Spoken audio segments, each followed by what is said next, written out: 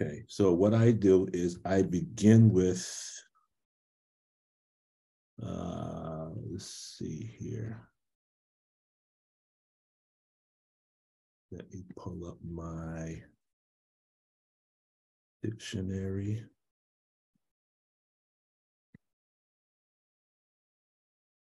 Uh, where are you?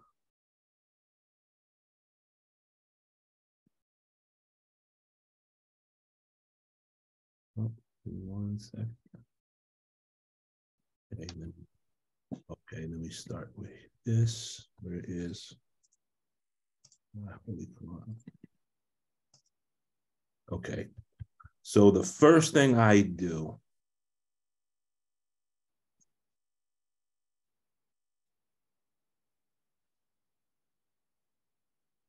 Okay. The first thing I do is I'll go to my PDF of my Holy Quran. Okay.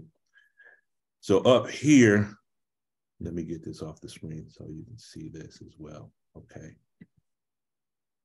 So you see up here where it says click to search? Mm-hmm. Okay. What I do is I will, give me one second, playing the DJ over here.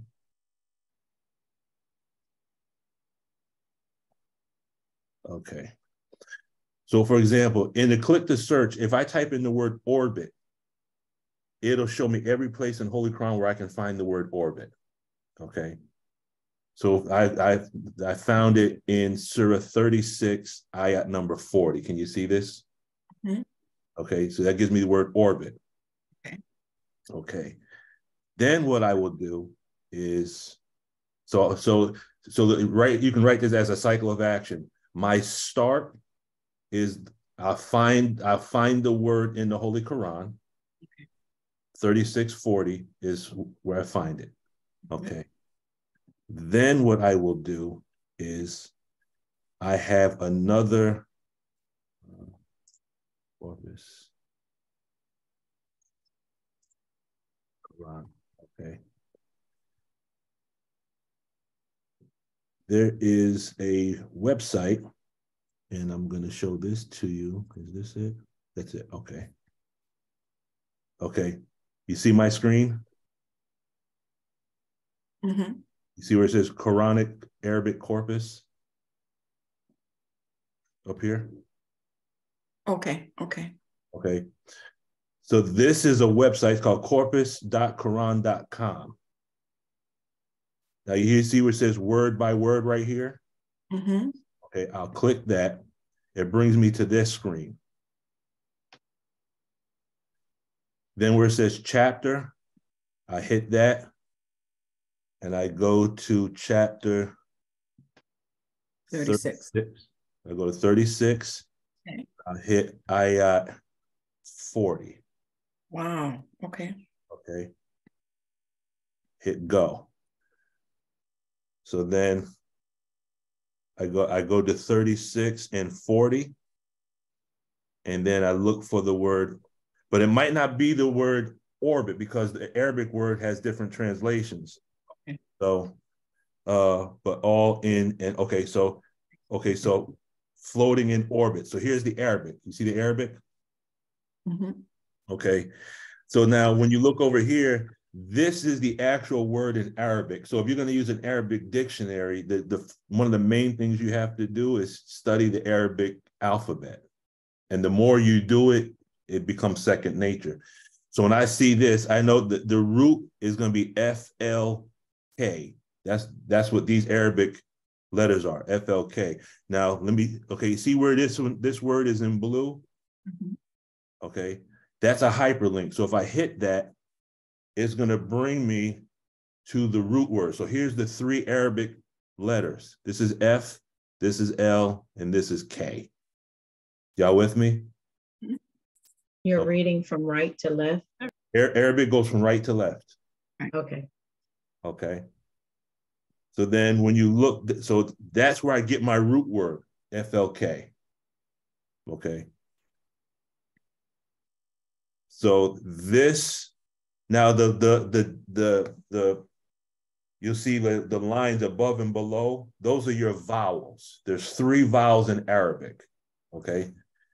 This over here tells me that this word is a noun. So at the same time, I'm, I'm learning the Arabic uh, alphabet, I'm learning Arabic grammar. And then this word down here is uh, the word float in Arabic. You look at this and you're like, okay, so what's the root word? If I hit this right here, yasbahuna is, is the, the Arabic word. But when I go up here, here's my root word. So you're going to use this to go into the dictionary. So this is S, this is B, and this is the hard H. There's two H's in Arabic. Okay. And then what happens is this shows you all the places in the Holy Quran where you can find this word. Surah 21, verse 33, 36, and 40, so on and so forth. Does that make sense? Okay. So then once I have once I have the, the the verse in the Holy Quran and then I find this, the root word, then I go into my Arabic dictionary. And then I look up, I do the word clearing with my Arabic dictionary. This is my Arabic dictionary. If you can, you can see my Arabic dictionary. And as you can see, this one is is is very beat up and actually falling apart. I got to actually get a new one. This one this one's done. This is um, pay. I got pages falling out. I mean, that's just how I, I use this every, every day, basically. So, brother Rashid, th- does that kind of answer your question on how to, to find the, the words and how to do the word clearing? Well, I'm glad you recorded it. Yes. It just takes so it, it, just it just yeah. takes practice. Right. Yeah. I just wanted to see the methodology that you were using. But mm-hmm. yeah, that's, that's thank you for laying that out. Thank mm-hmm. you for the fact you recorded. Mm-hmm. So everything begins with the whole the the the the Quran PDF. You actually do the word search, and it shows you everywhere in the Quran to find that word. And then once I get all those ayats, then I go into Corpus Quran, and then I can type in the specific ayats that'll give me the Arabic. And that's when you see me putting a, an ayat from the Holy Quran, and then you see me um, doing the word clearing. This is exactly how I do it. And then what happens is when you go into the Arabic dictionary and you look at all the the you'll have the root word, and then you'll have many uh, many definitions or many words that describe that word in Arabic, you'll come across the terms that are used in Dianetics.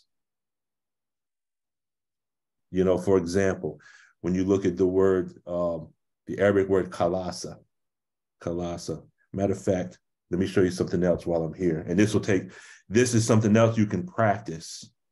Um, trying to think, where would that be? Um, uh, if you go to the bottom of what you're looking for, you see where it says Lane's Lexicon?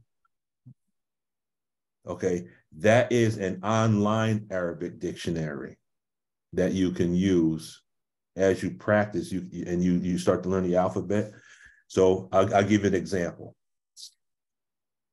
If I hit Lane's Lexicon, okay, it brings me to this screen. Can you see it? Mm-hmm. Okay. So I know so I know the word khalasa. Khalasa. The, the root is kha, uh, kha, L, and S. So I go over here. I know that this is the letter Tha, K-H. Okay, so I hit that. And then it's probably hard to see because the, the, the font's really small. But if I go down to Kha, and then I look at, I'm looking for the Kha with an L. And again, it just takes practice, family. We can all do this in a matter of days. Kha, La. And then I'm looking for, and that font is so doggone small. Mm-hmm. KH. I'm looking for KHL and then S. K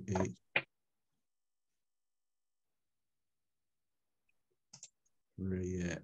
gotta be here. K H L and then S.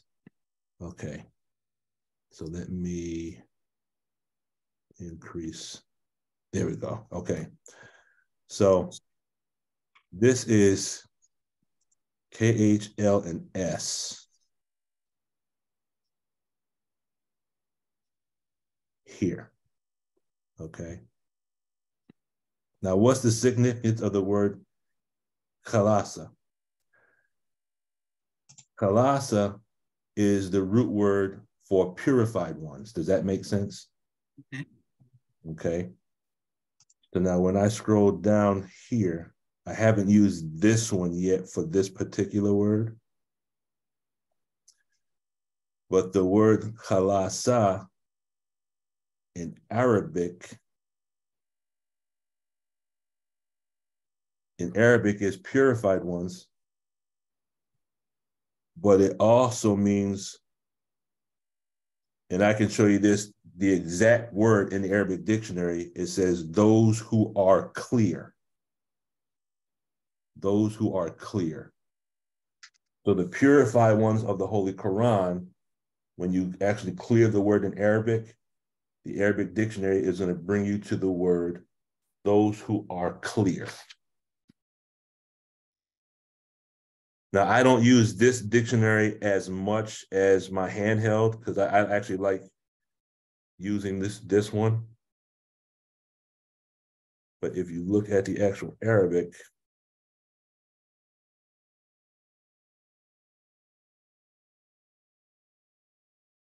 Okay. I'm gonna try to hold this up to the screen so you can see it. No, you're not gonna be able to see it. Okay. Um, but the word kalas in Arabic means to be or become free, to be liberated, to be redeemed, to be purged, to be refined, to be clear. Mm. Okay. So that's where we start marrying the, the, the words from the Holy Quran, I mean, from the Arabic dictionary, and we actually will start to find the terminology that's used in Dianetics. Mm. Okay. So I hope that made it a little bit easier. I would recommend that you actually get an Arabic dictionary. This is for me, this is me personally, this is a hard read. Oh, wait, you see right here? Can you see my pointer? Oh, yes. Mm-hmm. Which signifies clear. Yeah, exactly. Uh, it should be up here too.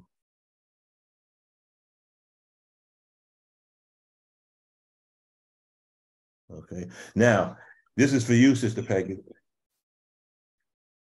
for the, the Star Trek. Do you remember the prophet or the sacred individual with regards to the Klingons? Um, his um, I can't remember his name. I know who you're talking about. His name was Kahless, right? That's right, Kahless. Yes. Uh-huh. So you see the see the same Arabic, right? Kahless. Kahless, Kalas. Oh, Kalas, Kalis. Okay. Kalis. It's the same, it's the same root word, it's the same consonants. One thing you'll notice as a Trekkie, and when you watch some of these science fiction movies, you'll they'll call each other, you know, they come they come up with these these what we might think is these crazy space names, right? Okay. Nine times out of ten, these words are actually rooted in Arabic. Mm. And because our people just don't know Arabic, they just think it's a name that someone made up remember remember the um oh it's not the it's not the uh you have Spock, and he is what? What is Spock again? Spock is um, a Vulcan. He's a Vulcan. Mm-hmm. Uh, but what's the other race that's a distant cousin to the Vulcans? The Romulans. The, the Romulan. Okay. Do you, do you remember Tomalak? Uh, uh-huh. Tomalak wanted to start a war with the with the Federation. Is that the one that was the okay? Yeah. The word Tomalak is Arabic. It's an Arabic. Oh, okay. You know, so there's a there's a lot of symbolism in Star Trek, is what I'm saying. Yeah. And um, for those, has anyone watched the movie uh Dune yet? Mm-hmm. Yeah. Yes, Have you the the old one or the new version? the new one. The new Well, version both. is, is the, The the new one and the- version. Yes, they are both the bomb. Yes, But now, what's Paul's name? Paul was Paul chose a name for himself, right? oh, yes. Oh, Paul Muad'Dib. Muad'Dib, right? mhm. Muad'Dib means teacher in Arabic. Wow, okay. And when you look at uh the war, isn't the war called the Shihad? Mhm. Yes. Where did they get that from? so a lot of the symbolism is in the movies, is what I'm saying. That's why I love watching the movies. Okay, now let me go to this. Uh, let me see. Let me share my screen. Let me go here. Okay. Okay, can you see the YouTube channel? Yes, Okay, so for example, I, this one, laying pressure on the mind was something we did, I think, two years ago. Okay, so now if I, if I press this one, now I'm gonna just freeze it. If I go down here, where it has a little description, Mhm. and hit where it says, where it says show more, Mhm. if I hit show more, everything is indexed by time. So for example, where it says atmospheric pressure as, as, uh, uh, atmospheric pressure as a counter effort. What we did was we took the, the study of the atmospheric pressure, but we looked at it from the perspective of Dianetics. Does that make sense? Yes. Okay, so now all you have to do, you might watch it through one time, you might take your notes, but you say, you know what? I want to go back, back and just study that one part. You can actually go back and click this and it'll take you to that. You just got to be in the world and not of it. That specific point. Okay. And so now all of the videos that are on there, as time goes on, I'm going to redo and index all the videos that are already there. But from this point forward, every video that I put on by Allah's Grace, I'm gonna index it so that as you watch it and you want to go back to specific points, you don't have to try to remember where did I did I see it here? Did I see it here? Nope. You can pinpoint it, and I'm gonna index it based on each of these um uh titles on the PowerPoints. Does that make sense? yes, sir. To, Okay. to make things a little bit easier. You, thank Excellent. That's powerful. Thank you. Wow. Absolutely. Yes. Very welcome. Sister Jocelyn, I did see your hand up. Yes, sir. I was just going to ask, um, when you're when you're using the translations with the um, Arabic, Mhm. um, the the does that afford us the um, proper con- uh, pronunciation of the Arabic word also? That takes practice. And, and I'm gonna tell you right now, my uh my pronunciation is not perfect because I'm I'm still learning. There, there's some letters in Arabic that are not in English, and um, it just takes practice. However, there's a lot of good YouTube videos that you can pull up on Arabic pronunciation, and they they'll give you exactly um, how to pronounce it. I believe I'm not 100 percent sure, but I believe Brother uh, uh, Sultan Rahman has uh, some videos. His his pronunciation is beautiful. I, I love hearing his pronunciation, um, but that takes practice. You know. Oh yes, sir. I was just you know like sometimes um, if you Google a, a, word in English, it, it'll give you like if you if you're looking at a word you don't know how to say it, they'll tell you. So I was just wondering, does it do the same with the Arabic? I was just curious. If if you do Google Translate, and if I think if you type in the word in Google Translate and hit the play button, it will it will do the pronunciation for you. Uh, yes, sir.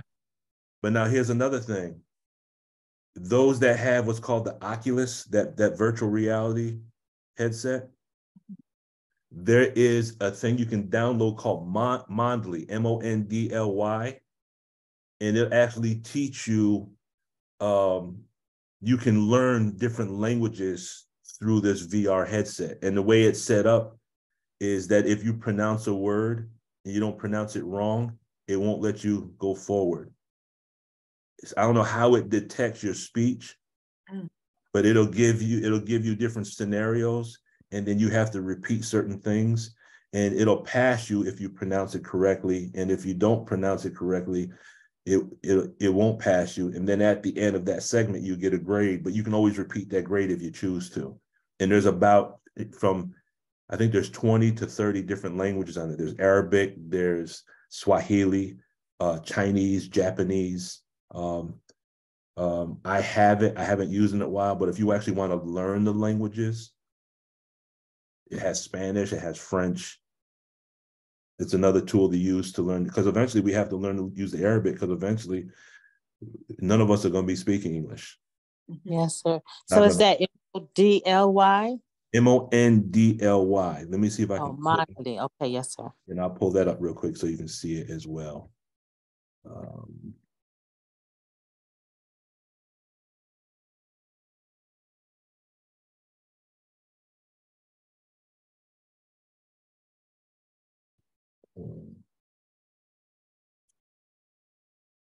Alagadoola, Melchicaboola, Bibbidi commercial. Together.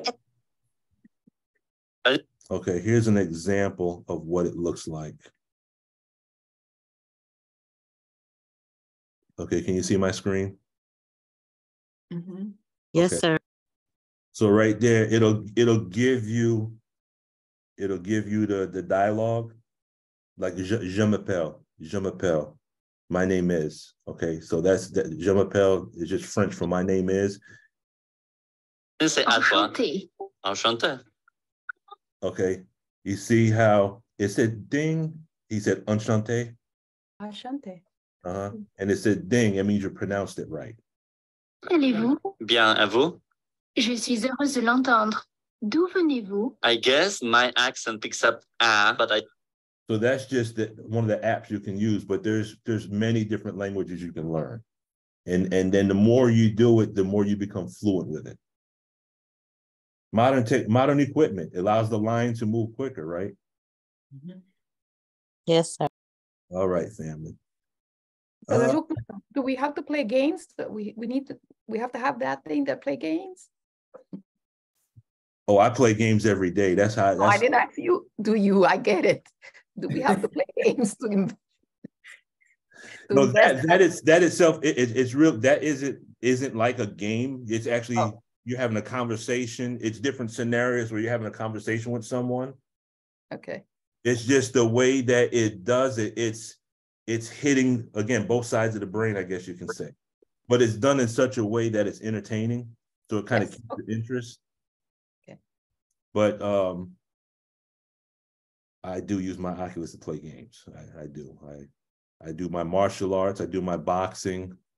I do my shooting range. I, I fire my M16s. I do all that stuff on my on my Oculus. Anyway, okay. Now let us. I'm gonna pull up. It's not a long PowerPoint. However, I think it might be good just to get us started. And there, so here's what we're gonna do. There's some information I'm gonna present just to kind of give us like an introduction. There is a, I think, two or three videos, and each of the videos are only like maybe a minute to a minute and a half long. So what I'm gonna do, once we go through the information, and again, I apologize if it doesn't flow. I was just trying to have something together so we can have it for today. We're gonna watch the video, the first video clip, and then I'm just gonna throw some questions out to hear your cognitions, okay? Everyone with me? yes, yes, sir. So this this whole this concept comes from uh wait a minute, wait a minute. Hold hold stop it. Brother Wahid. Assalamu alaikum, sir. I just saw your name in the I just saw your name in the chat, Brother Wahid. Please forgive me for not sending you the greetings earlier. And if you can't come off mute, then that's fine. We're just thankful that you're here. Um, I think I think that's everyone. I'd like to recognize everyone. Okay. Let's see. Let me pull this, pull this, and pull this. So this comes from. This is from the good doctor. Uh,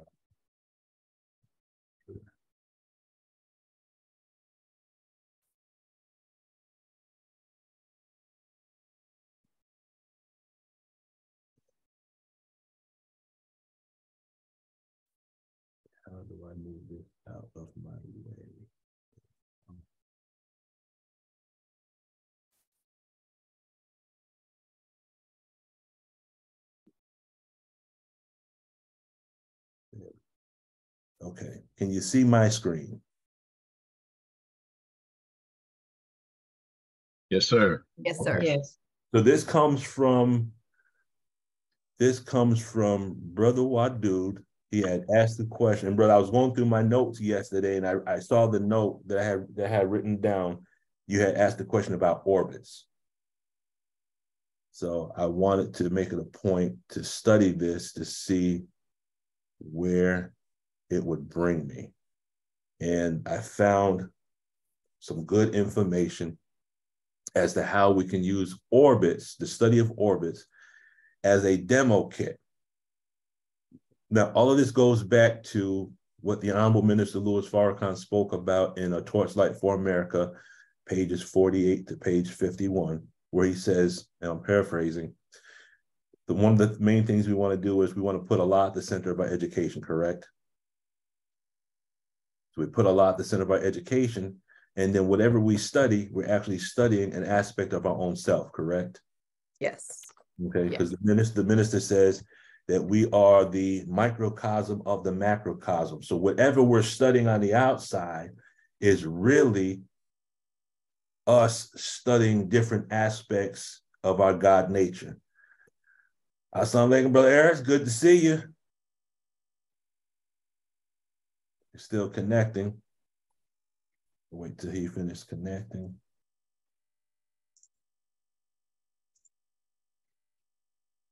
Okay. So in the study of orbits, the actual topic in physics or science is called orbital mechanics. Assalamu alaikum, brother Eric. Oh, alaikum salam. I finally get it. And That's good to see you. it's been good at seeing you. Praise be to Allah. So or, when you study orbits, you're studying what's called orbital mechanics, which is a branch or a part of a, a science called astrodynamics. Does that make sense? Everyone with me? Don't don't Uh-huh. let, don't let these sir. wor- don't let these words uh, drop your tone level. No, I just wasn't sure if I understood what the astrodynamic meant. That's why I didn't answer you. Oh no, no, this is for everyone. But astrodynamics, okay. So when we look at the word astro, we're dealing with stars. Yes. And when we deal with dynamics, we're looking at movement. Okay. So what we're gonna do, it might be briefly, only because um, my slides are limited, but I, I firmly believe because I'm sitting in the circle of gods today, and there's 24 today. So because we're sitting in the circle of the gods, that I believe that you all will have your own individual cognitions as we go through this, and you're gonna see Power on. some amazing things. Okay. We're going to look at orbital mechanics as a demo kit to gain an understanding of self, of Allah, and the universe. Y'all, y'all ready for this one? See, this is right. This is right up Sister Peggy's uh, alley, being on the Starship Enterprise. So I want to I want to start out with the word mathematical theology, and this is just the way that I perceive this term, mathematical theology. When you look at the word mathematics, this is the basic definition. Mathematics is the science of numbers and their operations, interrelations, combinations. This is right from Merriam-Webster dictionary. generalizations and abstractions, and of space configurations and their structure, measurement, transformations, and generalizations. And that's exactly the way it's worded in Merriam Webster Dictionary.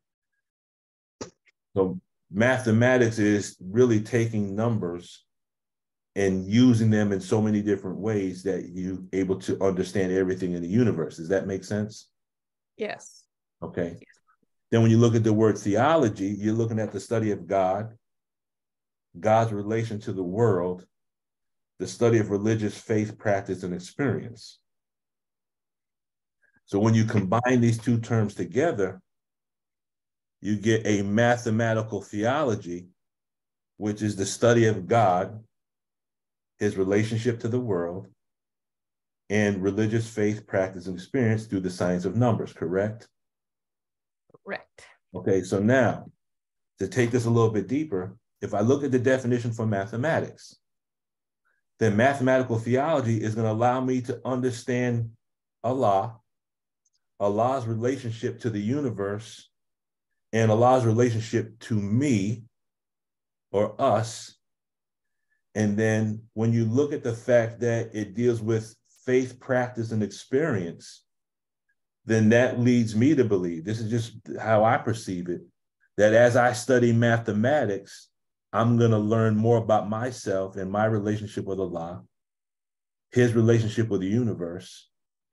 And that as I learn about mathematics and science and numbers and operations and the combinations of numbers and how the numbers relate to one another, and we use the word equation or formulae, these ways of understanding mathematics is going to teach me also about my religion because Islam is mathematics and mathematics is Islam, correct? Yes. Yes, sir. So as we study mathematics, we're actually learning about our religion. We're learning about, well, no, not our religion, because Islam is given to us as a religion. We're learning about our way of life. Correct. Okay. So then what happens is as we study mathematics, when we study astrodynamics, we're really studying mathematics as applied to the movement of interstellar uh, bodies, correct? Yes. So everything we look at in the universe is actually teaching us about our Islam. Does that make sense? Mm-hmm. Yes, okay. sir. So what happens is, at least for me, if if I have this mindset that when I study something, I'm looking, okay, how is this going to teach me about Allah? How is this going to teach me about my relationship with Allah and his relationship with me? How can, if this is going to teach me aspects about myself, how can I put myself in the subject matter to learn things about me? Because as I learn about God, I'm learning about me. And as I learn about me, I'm learning about God, correct? Yes, sir. So Yes, then, sir. so then everything I'm studying becomes a self-study. So I'm not just studying a subject in order to pass a test. I'm studying astrodynamics to gain a knowledge of self. I'm mm-hmm. studying orbital mechanics to gain a knowledge of self. Does that make sense? Oh, Yes. Yes, sir. So when the minister said in that video about mathematics, he says that we are the microcosm of the macrocosm. Everything that's outside is on the inside. Everything's on the inside is the outside. Everything I'm studying, I'm gaining a knowledge of who I am as an individual in the, in the likeness of Allah, correct? Yes, sir. Okay.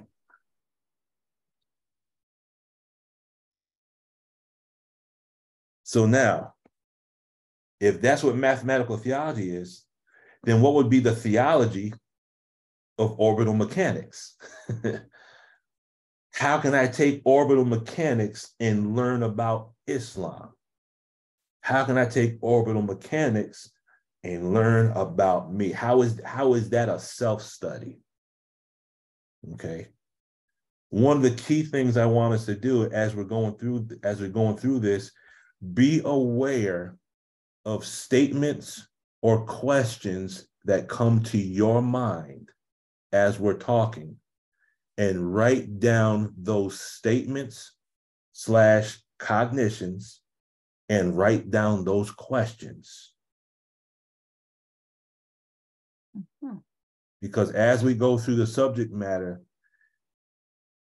and you're aware of the inner dialogue, remember the self accusing spirit teaches, guides, and reproves. That's what the, the Honorable Minister Louis Farrakhan teaches, right?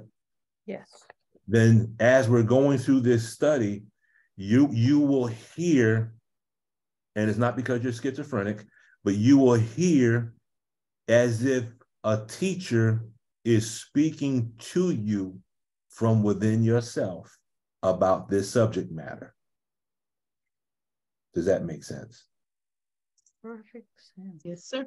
Yes, sir. Be aware of the statements that come to mind and be aware of the questions that you that will come from within because if you look at the word question the root word in question is the word quest correct Yes. And the word quest describes a journey in search of something of importance correct Yes. And the suffix T-I-O-N means an action or a process. So when you ask questions, this is a spiritual and a mental journey that's going to take you to other things within yourself, within the subject matter that you study. And really, the journey is an inner one. Does that make sense? Yes. Yes, sir. Yes, sir. Clearly. So when you look at orbital mechanics, orbital mechanics and astrodynamics is coming under the same topic. Um, so when we combine these terms, we're doing the same thing. We're taking problem number 13 and we're looking at it like an equation. So for example, if I say mathematics, the word mathematics encompasses hundreds of subdivisions of topics, right? So if I just say the word arithmetic, arithmetic is mathematics, right? Yes. Yes. Okay, so if arithmetic is mathematics and mathematics is arithmetic, but then by the law of substitution in mathematics, that tells me that if I look at problem number 13, where it says Islam is mathematics and mathematics is Islam, I should be able to substitute the word arithmetic. After learning arithmetic, which is Islam, and as Islam is arithmetic, it stands true, and you can always prove it no limit of time. But then you have to learn to use your arithmetic theology in its proper term. Does that make sense? Yes. Yes. Have, have I confused anyone? Does that does that kind of does that raise the tone a little bit? Yeah. Okay, that means take problem number 13. You can take any level of mathematics and put it into the word mathematics. If I say calculus, after learning Islam is calculus and calculus is Islam, that means the more I study calculus, the more I should learn about Allah, myself, and my faith. Does that make sense? Mm-hmm. Yes. So the many branches of mathematics, really, all of those branches are just demo kits to teach us many branches of ourself and our, our, our, our faith tradition and our relationship to Allah. Does that make sense? Mhm. Okay, so the same same concept is we take the word orbital mechanics, we substitute it. So after learning Islam is orbital mechanics, and orbital mechanics is Islam. After learning Islam is astrodynamics, and astrodynamics is Islam. We're doing the same thing. We're changing the way that we perceive mathematics so that we're taking away the stigma of it because we have what we call these mathematical engrams, correct? Yes. We have these. So if, if we have a fear of mathematics, then as soon as mathematics is mentioned, what happens to our tone? Goes down. Okay, but if we say mathematics and we say, wait, I am mathematics, Mhm. what happens to the tone? Tone goes up. Goes up.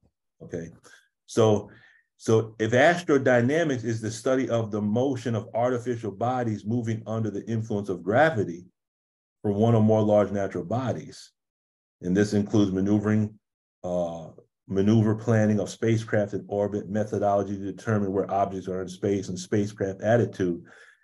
We're gonna we're gonna kind of we're gonna try to unpack this to see how we can take this concept of astrodynamics but relate it to self. Everyone with me? Mm-hmm. Yes, sir. Yes, sir. Yes. Where do we begin? We begin at study guide number four. And if you look at the bottom of where it says facts, it says the planet Earth is inclined on its axis at approximately 23 degrees, 30 minutes to the plane of its own orbit. This inclination, along with its rotation on its axis and its revolution around the sun, makes life forms as we know them here. If the Earth were to alter its motion, it would lose its balance and leave its orbit. Now, that one little paragraph has is so mathematical and there's so much in it. Let's unpack that for a minute. uh, I would highly recommend we all have access to a dictionary, whether we have a, the book or we have something on our phone or on our computer, because we're going to do some word clearing here to show how this study guide by itself could take us deeper into the study of self and astrodynamics. Okay. So let's look at someone, if you can pull up the word plane, P L A N E. Look up the word plane.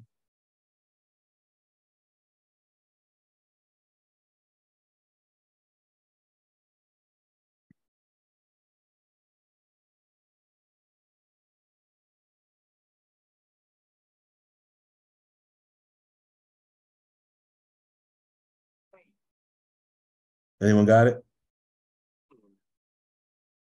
Yes. Yes. Okay. Whoever wants to go ahead, read read the definitions for the word plane. Now, one, one thing Brother Jabril said many years ago, when you, he's talking, and I'm paraphrasing, he talked about using a dictionary. He he he recommended the first first couple of definitions will be superficial, and then as you go deeper into the definitions, you're going to find some real deep meanings that will take you on another journey. Okay. So let's start with the top definition for the word plane and let's see where that takes us. Go, uh, go ahead, whoever has it. Who has it? It says undecorated, uh, unobstructed, Mhm. um, clear. Hmm, there's a good one. Okay. And then it says belonging to the masses. Huh. I'm on I'm on the computer. I'm not in my book. Okay. Anyone else? It, it says an extensive area of level of rolling trees, country, a broader looking expanse, Okay. something free from artifice, ornament, or ex- extraneous matter. As an adverb, is a plain manner without obscurity or ambig- ambiguity. Ambiguity. Mhm. Uh, absolutely plain. Then it goes into a verb. Plains, plain, complain. No, that's what I got. Okay. So so one so one good one is free from matter, free from basically free from stuff, right? Yes. Okay. So now if we were to look at that, well, no, I'll wait till we get to it. Let's let's read some more definitions. There's a specific definition I'm looking for that's going to take us to the next the up the next gradient. Uh, who else has the word plane? P L A N E. I have some, oh, go ahead. I have a level of existence, thought, or development. Yes, level of existence, thought, or development. What else do you got, Sister Belinda? Uh, I don't have anything else different than what Okay. Sister read. So now, so you have the word thought. You gave us thought in existence, right? Yes, sir. Okay. And, and then Sister Shayla gave us free from matter. So now, and then she gave us the word clear. So now when you look at, if we if we just look at that real quick, free from matter and clear and a level of existence, what are we describing right now? A clear. We're, we're thinking about a clear or a level of thinking, correct? Right. Okay, go ahead, Sister Melanie. Oh, well, one of the ones I had was a, a flat or level surface. Also, a level of dignity, character, high moral plane. Hmm. Okay. So it sounds like the word plane, it could, if we took it on another level, the word plane could represent a plane of thought, correct? Okay, a plane of thinking. Okay. So now, Brother, Brother Lukman, yes, ma'am. I find a definition that says plain, lacking special feature or quality, basic. Plain. Just What? How, how? How's that word being spelled?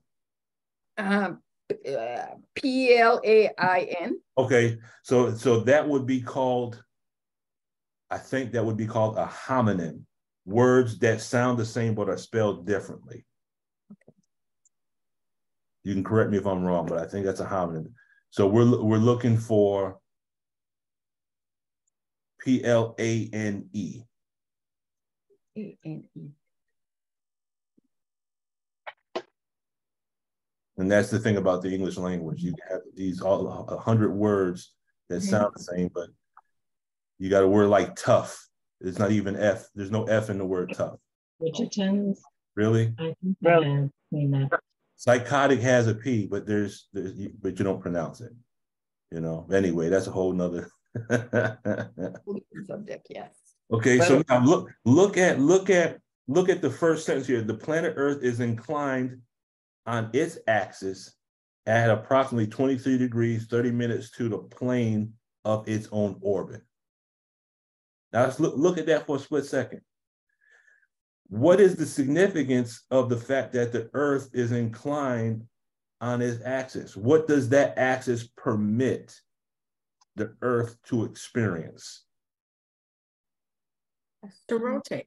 The rotate. It, it allows it to rotate. Yes, that's a key word. Rotate on its axis. But what else? If you if you change that axis, what would you change on the planet? Um, the, the rotation The of, balance. The balance. Yeah. The balance, the seasons. all in- You wouldn't have the season. Okay. So the so in other words, the earth is in such a mathematical position with regards to its location, 93 million miles from the sun, correct? Y'all with me?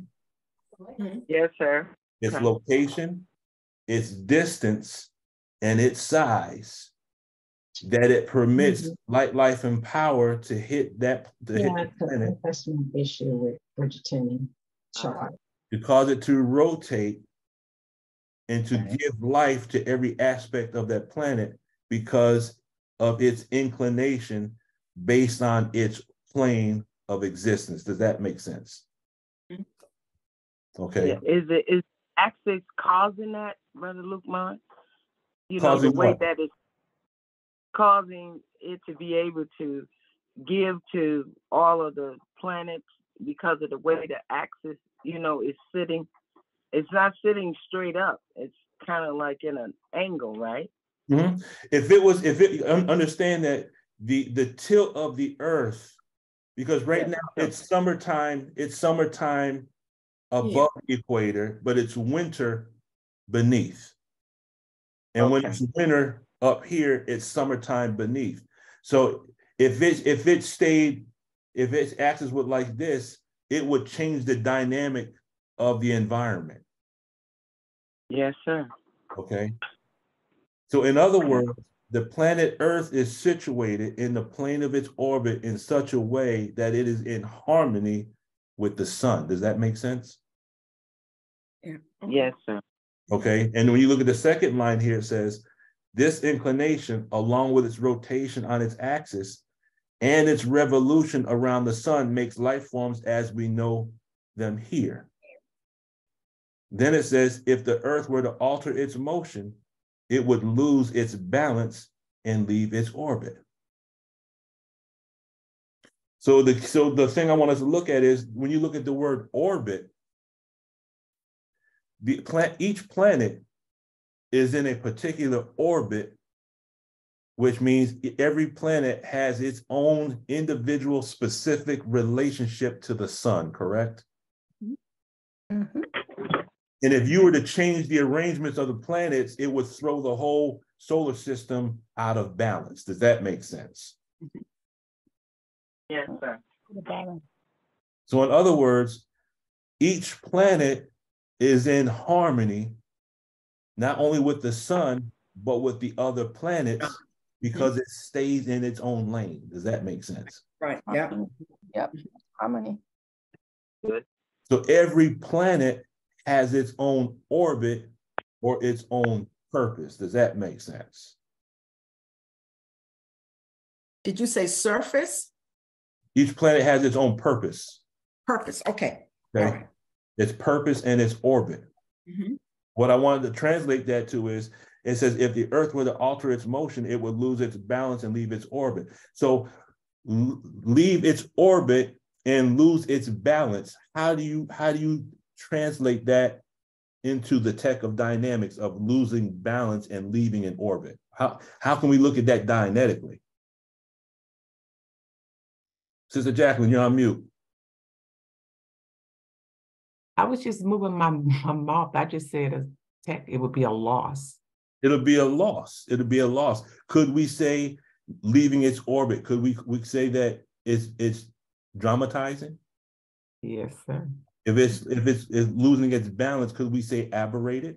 Mhm. Okay, now watch this. If a planet leaves its orbit, it alters its motion, it leaves its orbit, or it loses its balance and leaves its orbit. If any of us here are not clear, that means on some levels we still have some aberrations, correct? Yes.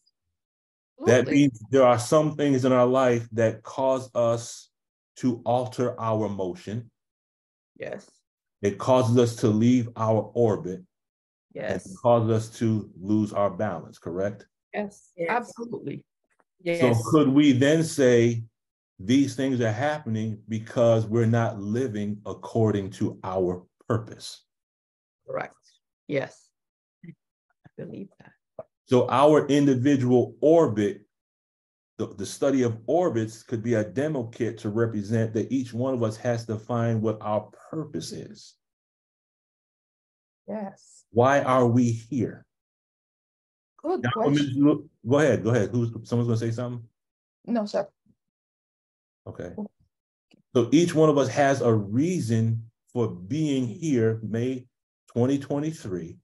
There's a reason why we were written in the history to be present in this day and time and to assist the Honorable Minister Louis Farrakhan in doing the work that we're doing, correct? Yes, sir. We are, sir. we are all like Yes. planets revolving around the sun that has risen in the west. Does that make sense? Hmm? Yes. Yeah. Oh, Okay. But what happens is if you if you look at us as believers, we're aberrated because we're trying to get in other people's orbits. what we need to do is get out, find out what our lane is and get in it. Right, right, right, one hundred percent right. And see, when, when you get into someone else's orbit, what happens, it, it, it pulls out of the orbit and then it messes up the whole system. Right, it's out of balance. It's out, yes, ma'am, Sister Melanie, it's out of balance. You know, if from the medical standpoint, you know, what happens when the uh in the circulatory system, if you get too much fat in the circulatory system, doesn't that throw the cardiac system out of balance? Most definitely. You know? So in it from from an anatomical standpoint of the body, the whole body wants, as brother uh brother Dr. Wadud uh described before, the body wants homeostasis or balance. Right. But what unbalances one thing eventually over time will imbalance the whole body. Yeah. Yeah. Yeah. so so can you see how astrodynamics, the study of orbits, the study. So now if you apply this and look at the different uh, problems in a problem book, that talk that ask the questions about the different planets. What is their, it gives us the diameter. What is their circumference? How many days does it travel in one year?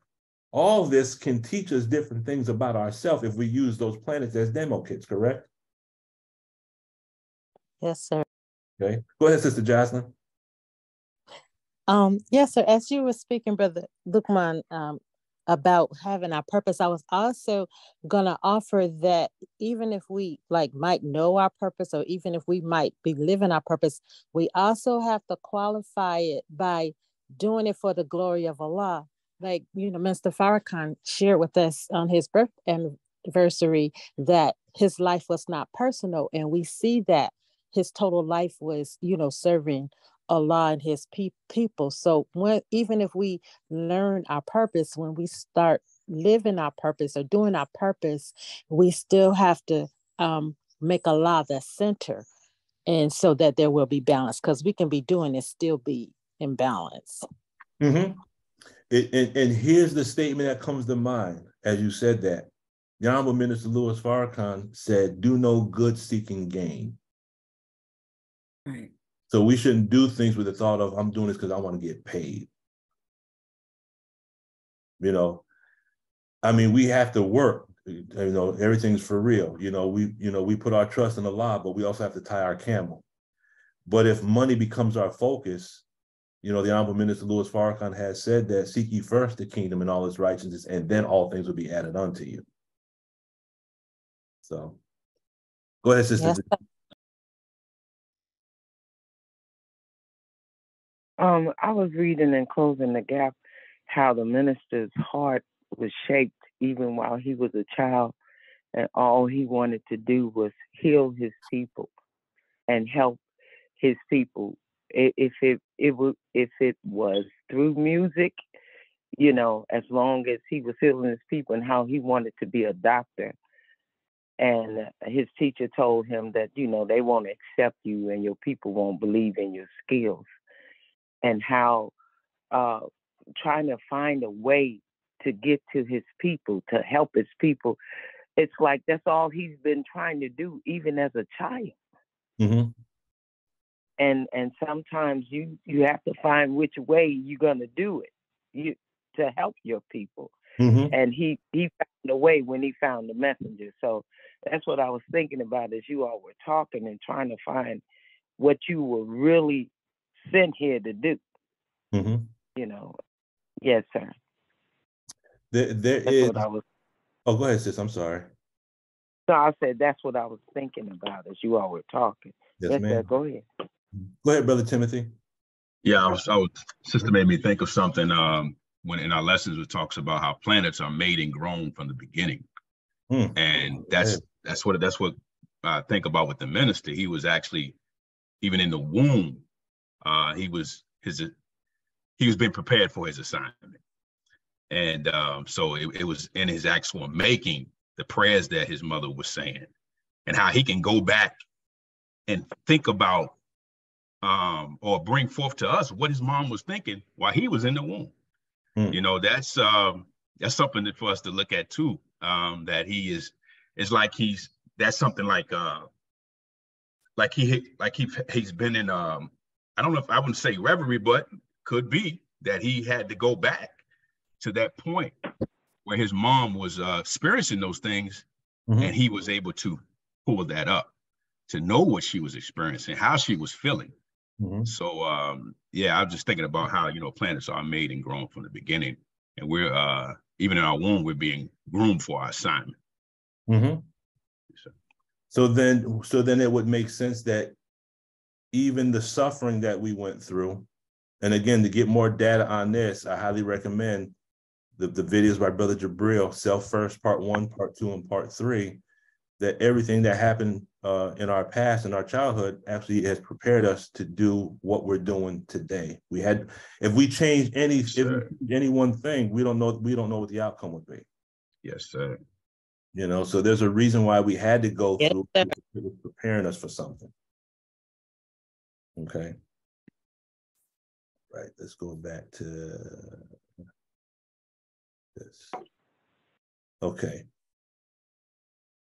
So this, this, this second paragraph in study guide number four, can we see how we can extract some other? We, we, you know, we took, took the study guide, we are able to go a little bit deeper in the study of orbits. Yes. Uh, Brother Wadud, how are we doing so far with this topic? He might be busy. Okay, we'll keep it moving. Okay, let's look at the word orbit. The word orbit is a path described by one body in its revolution about another. So now if we look at orbit with regards to our purpose,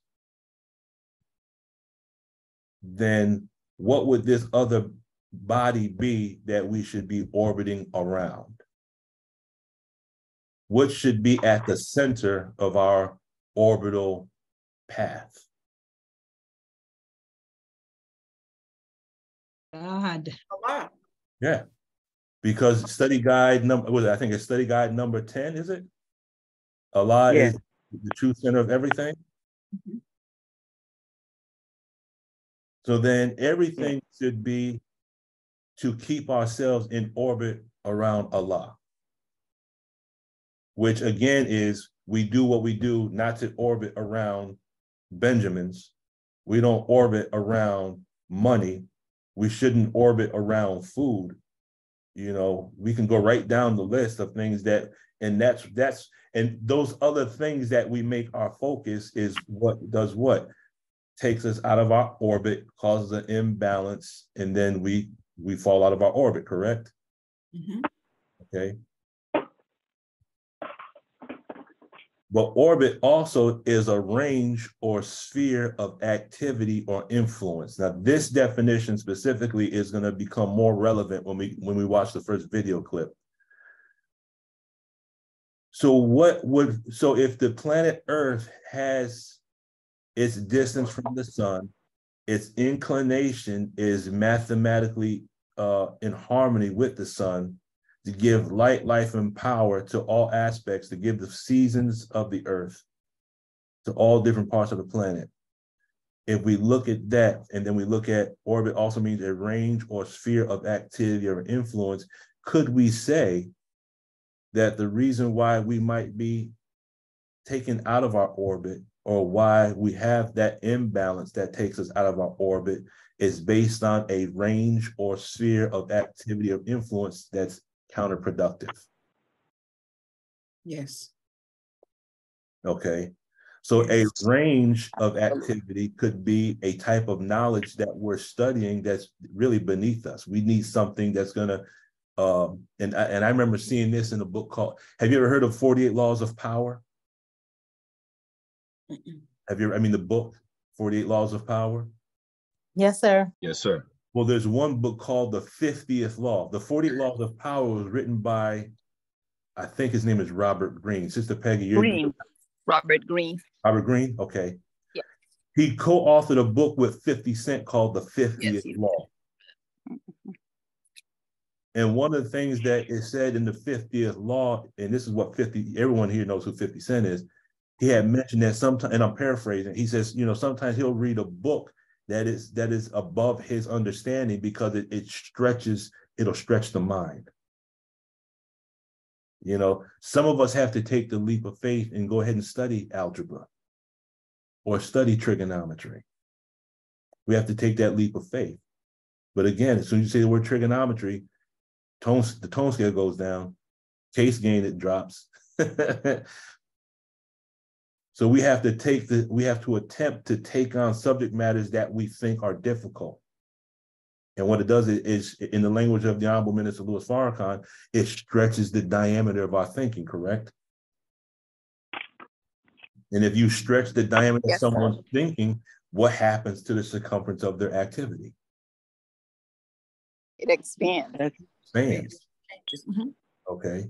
Some of us never thought today that we would be studying astrodynamics, correct? Correct, correct. Sister Shayla? Yes.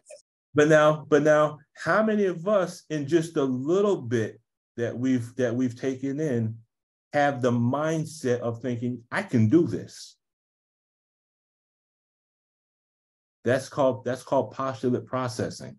If something is in, introduced on a gradient level, we can understand it.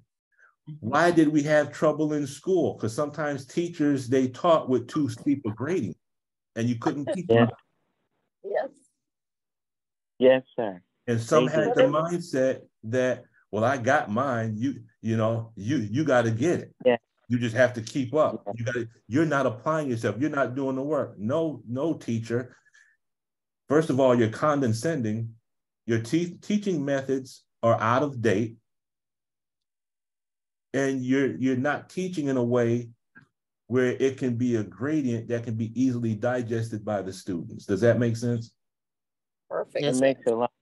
Okay.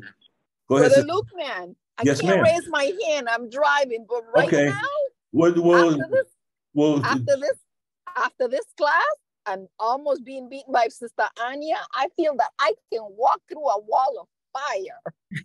That's my tone went up. Well, just make sure you have all your fire equipment, sister, because because actual facts will come back to haunt you. yes, ma'am. Yes. Brother mine. Yes, ma'am, sister Denise. I always felt like I, you know, there was no subject matter I could not learn. It all depends on who's teaching it. You know, if they can take it and and break it down. The minister say if you have a PhD, Mr. Farrakhan say you should be able to talk to people on that level, even down to the kindergarten, Mm-hmm. because you know how to how to bring it on on any level when you're talking to people, and that's what you do when you talk. And I say, what? you know, it's like it's that simple. Yeah, it's, it's that uh, simple. it's- who taught me? Uh, or who shot a needle in my head? I mean, Mm. you know, Mm-hmm. either, either either way, it's not just sticking a needle in the children's head; it's our head as well. Mhm. You know, as you are adults, because of the way that you come at people. Are you coming to give to them? Are you are you coming to just show them what you learned? Yes, ma'am. You know, that makes a lot of difference to me when you're teaching. Are you mm-hmm. giving them something that they can take away? Or are you just look look what I know. look what I've learned. Yes, ma'am. Yes, sir. And see, me personally, yes, ma'am. Thank you. Me personally, in, in the individuals that I've had a chance to work with, some of which are, are in the Zoom meeting, when I hear someone's tone level goes up because they understand a concept that they at one time thought that they couldn't do, and now they do it. Where, where's where's my where's my PEMDAS scientist at? Where's PEMDAS scientist at? She, she knows what I'm talking about. Is she still here?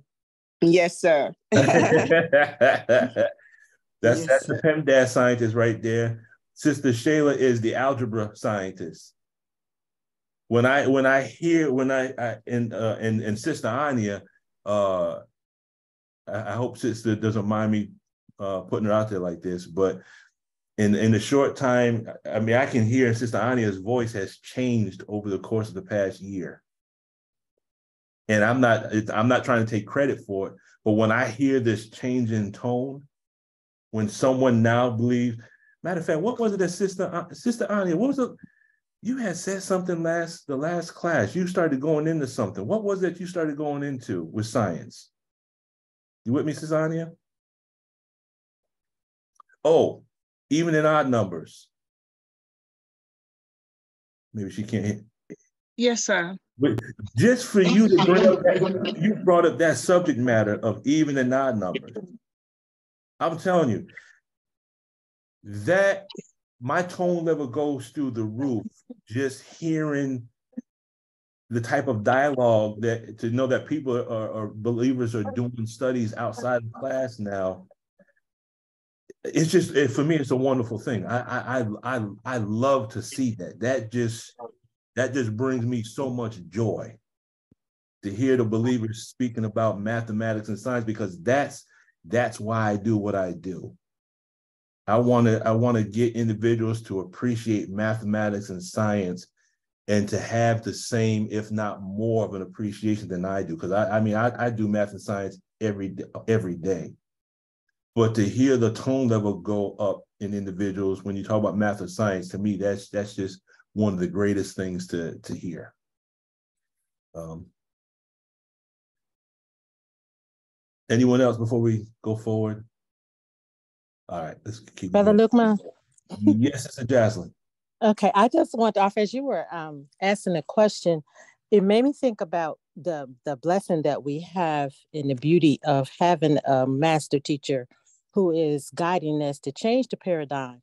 Mm-hmm. Because as as he's showing us how to make whatever we learn relevant to us when it's Mm-hmm. relevant to us it's easier for us to grasp and it's bringing us closer to um, Yeah. the elevation because you know we're being taught by by people that only have one degree of mathematics but as we learn that we are mathematics and everything we're going to get closer to you know evolving into um understanding the higher degrees of mathematics Mhm. and that that's the beauty that i'm that i'm that i'm receiving from how you're you know how he's guided you to instruct us it's it's it's like it's it's elevating us because i can make it relevant to me and if i can see myself and it study myself and if i'm the original man then i'm going to inshallah eventually learn to master higher degrees of mathematics Yes, ma'am. Yes, Amen. ma'am. And and here's the thought that comes to mind as you're speaking, Sister Jocelyn. Have we not been taught that during the 20 year period, we're going to learn higher levels of mathematics and science? yes sir And we were Yes. taught that we would be taught by the scientists, correct? yes sir And and sister uh, uh, and Mother Tynetta has said on one occasion that we would, I think it was either Mother Tynetta or the minister said that we will learn the peaceful application of the atom. Has anyone I heard that before? that i don't remember that sir Okay, that I know that's somewhere in unveiling number 19. I will get the actual facts on that, so we will have the receipts on that. But now here's another thought. If we're taught that Allah does not change a condition until we change our own condition, is it possible? I, I can't confirm this. This is just a cognition. This is just my thought process. Is it possible that if we begin to study mathematics and science, is it possible that the scientists could teach us the new levels through our own being? In other words, feel like it is say again.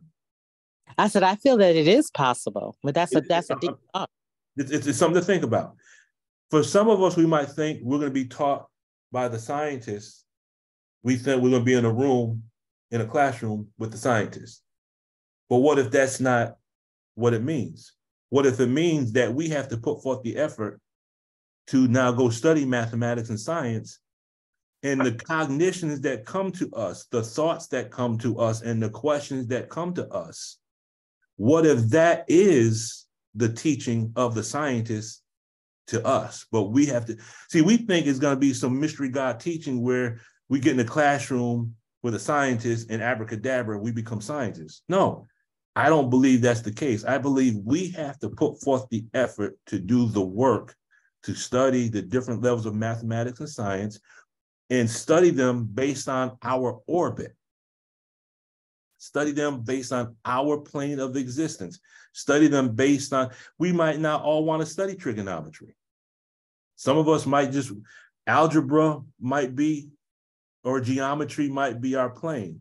Some of us might go specifically to study physics or thermodynamics, or we might get to the point where we, we might study all of it. But based on our plane of existence and, and based on our distance from the sun, we study mathematics and science based on what satisfies our soul. Does that make sense? yes sir So when we find out, okay, what do I want to study today? Okay, like for the next couple days, I know I'm going to be studying orbital mechanics. Because now my my tone level is I can't wait to go study this subject matter to learn about myself, learn about Allah, and learn about Islam. So now the main thing with studying any concept or subject is you have to have the tone level to do it, right? If the tone is low, you don't want to study it. But now as I study it, as I have these uh, L. Ron Hubbard calls them a theta facsimile. A theta facsimile is in our language, we could probably call it a revelation. But when you, ha- has anyone had any cognitions or questions that have come to mind that they have written down as, as we have had this discussion? Yes. Okay. Now, what if those cognitions or what if those questions, what if, just what if, the possibility, what if that was something that was used by a scientist to teach you something deeper into the subject that we're already studying? I'm just saying it's a possibility. I don't know. I can't answer that question. I'm not a scientist. But does that kind of all make sense? We have to put forth the effort to study. And then based on what we study, we're going to receive a higher level of that frequency of thought, I believe. Sister Jocelyn and then Sister Anya. Brother Lukman, as you were speaking, it, it made me think about um, Master, I mean, Master Muhammad and the Honorable Most Honorable Elijah Muhammad at, establishing the University of Islam and why he called it the University of Islam because the the universe is our classroom. Mhm. So wherever Allah guides us, and then that's that's you know we're going to study it, but for the benefit of the whole. So I I I'm just um I guess I'm bearing witness to what you're saying. Um, that's all. That's all I wanted to share. Thank you, Sister Jocelyn. Praise be to Allah. Sister Anya.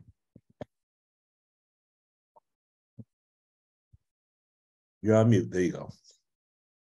Um, it's it's um, I guess really funny that you should bring that up again about um, the uh, class, um, the twenty years of study and the scientists, um, and what I had brought up last time, because I had another um, I won't, say cognition, but just another. Well, I guess it could be a cognition. Um, but I'm I'm noticing how the more and more we go through these different sessions um, with the you know pairing up the Dianetics with the um, all, all of the other studies of of the universe and in a mathematical way how it's causing me and I probably um, more of us as well but it's causing me to think of things in a more mathematical way and another example was the other day I was reading an article about an African woman who had given birth to um, 10 children. Right. Yes.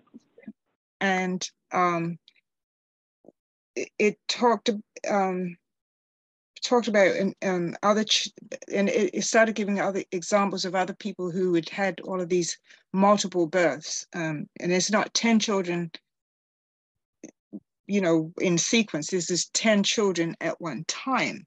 Oh, man.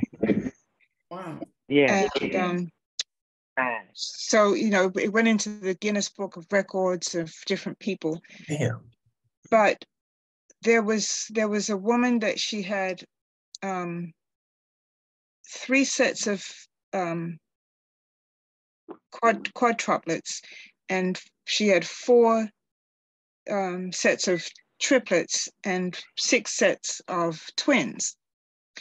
And so my mind automatically put that.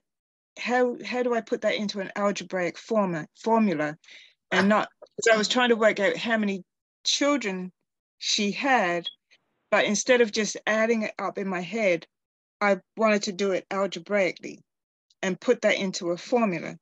So I put um, Q for quadruplets, and I used R for triplets and T for twins. So that came out to 3Q, which is three sets of, um, was it quadruplets, Okay. plus 4R, four sets of triplets, plus 6T, which is six sets of twins. And so then using Sister Tina's PEMDAS, right, had to work out what was inside the brackets first.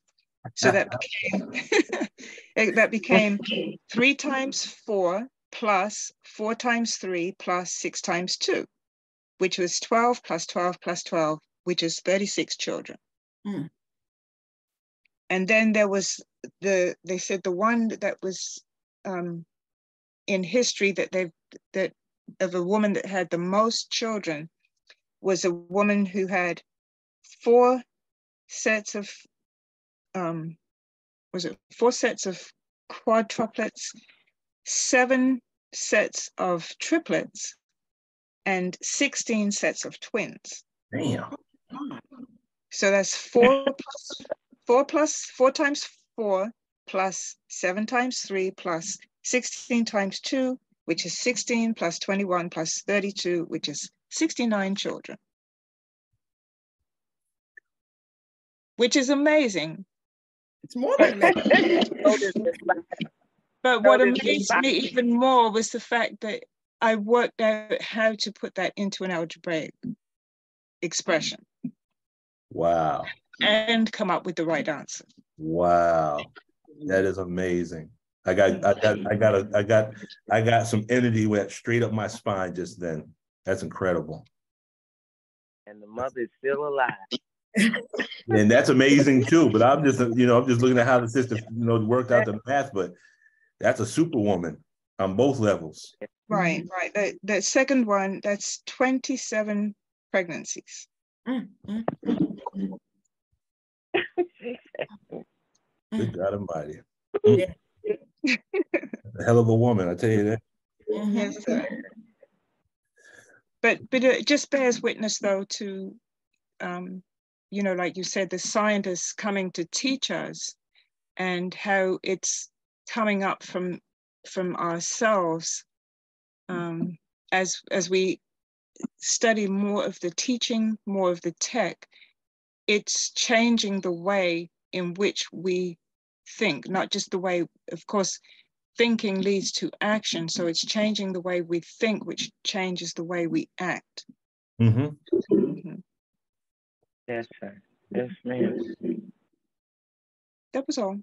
Oh, that, that was all. That was that was a lot. Thank you. Praise be to Allah. That was absolutely wonderful. All praise. I'm talking about. I I I love that. That that just my whole day is good now. Sister Tina.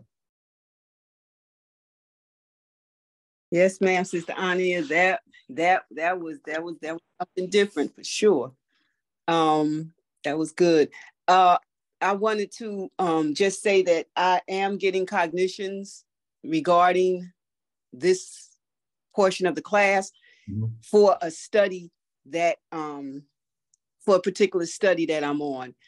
And uh also cognitions regarding what the minister gave us as a gift on his birthday evening. So um so yes, sir, I just wanted to say I am getting cognitions. Do, do, you you gonna keep that to yourself, or you, you want to share with the rest of the class?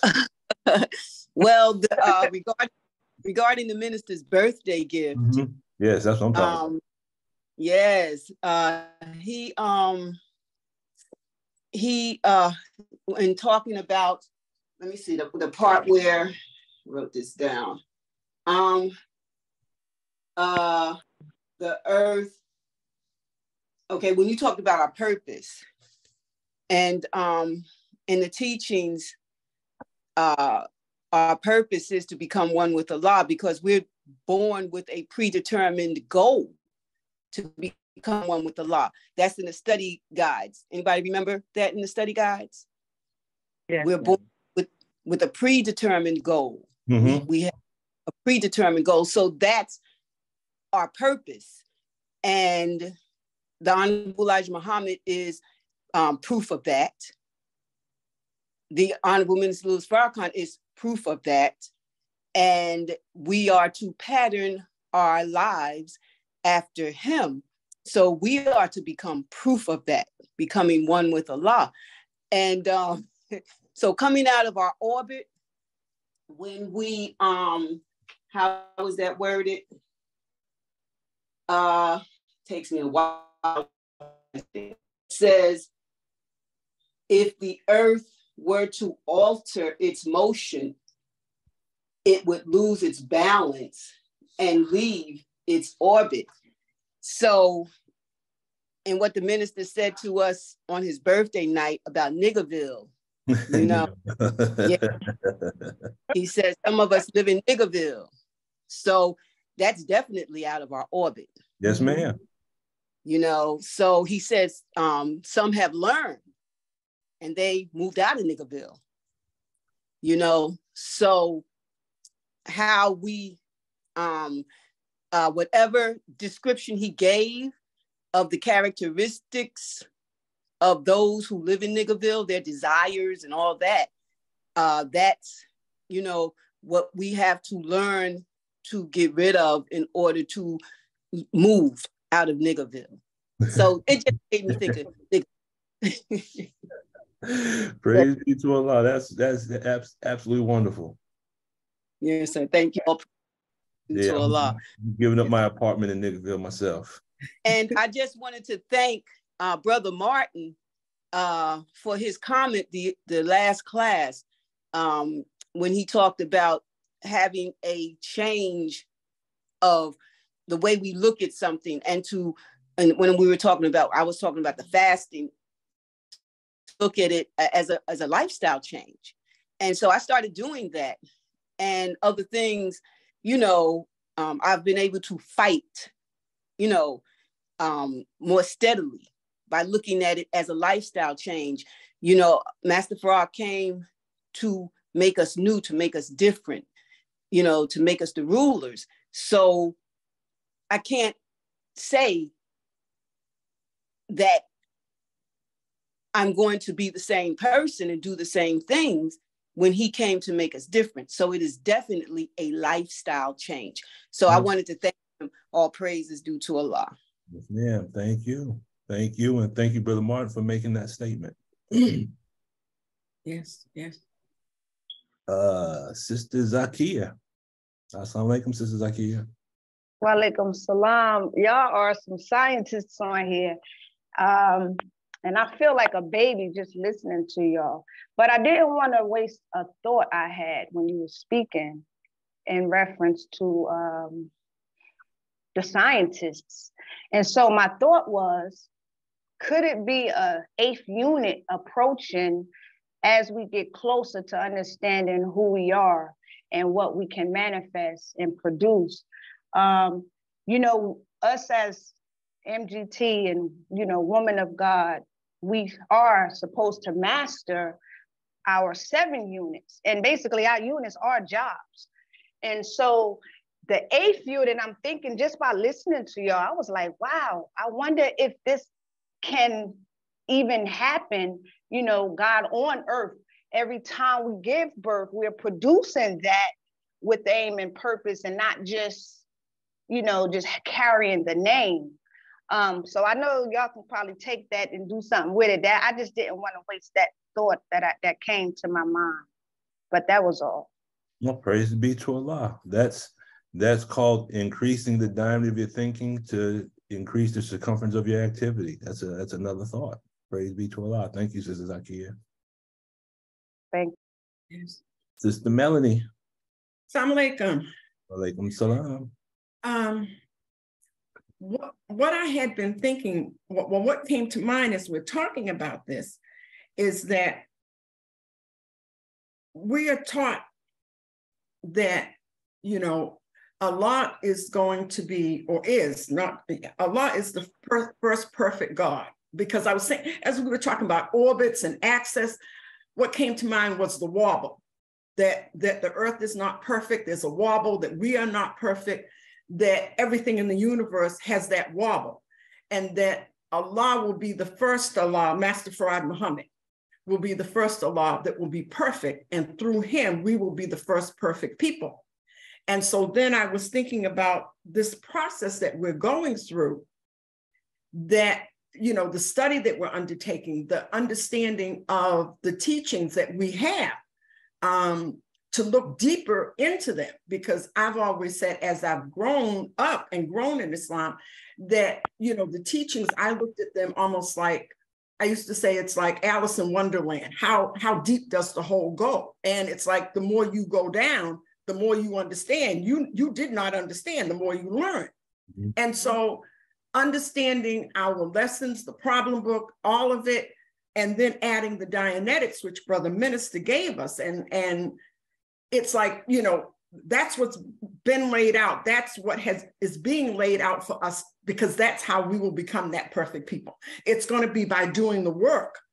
And, and as we're here on this and as we're studying, it came to mind that this is the work that we have to do on ourselves in order to become that perfect people because it's not going to be an average cadabra. Yes, ma'am. You know, it, it, it's going to take work on our parts and and and brother minister between what the messenger has given us and the teachings that he got from master Fard Muhammad and the lessons in the problem book and then brother minister married it for the term with the Dianetic tech and how that is freeing our minds and our souls and our hearts to really understand what we've been given. It's giving us a better understanding, and and, and we're going deeper down the down down the rabbit hole. Mm-hmm. And it's, I, I just think it's beautiful. I mean, that's the answer. That for me, that's the answer, because that's what's going to help us be who we are supposed to be. Yes, ma'am. Thank you, Sister Melanie. Praise be yes, to God. Wonderful. Sister Peggy, Okay, assalamu alaikum. Well, I'm not going to take you. Okay, so, our uh, brother, you, you asked us to look up the word plane. And mm-hmm. so at the end of that exercise, you mentioned that there, in English, there are a lot of homonyms. Mm-hmm. And so there is a woman by the name of Laura Airica. And she said it is her purpose to raise the vibratory um, to, re- to raise the vibration of English so that it's not so hostile. And, and part of it is looking at word etymologies. Mm-hmm. For instance, if you look at the word Job, which is in the Bible, we know about Job, then Job is Hebrew for persecuted. And then when we go on our jobs, do we not feel persecuted? and it seemed like it was just a joke or a pun, but it isn't because you have to study that uh, those words, like the word week at the beginning of the week. You you know you're on this job and you're persecuted, and so by the end of the week you are W E A K. You are very weak, and so now you. so that's the cognition that I got when you talked about that.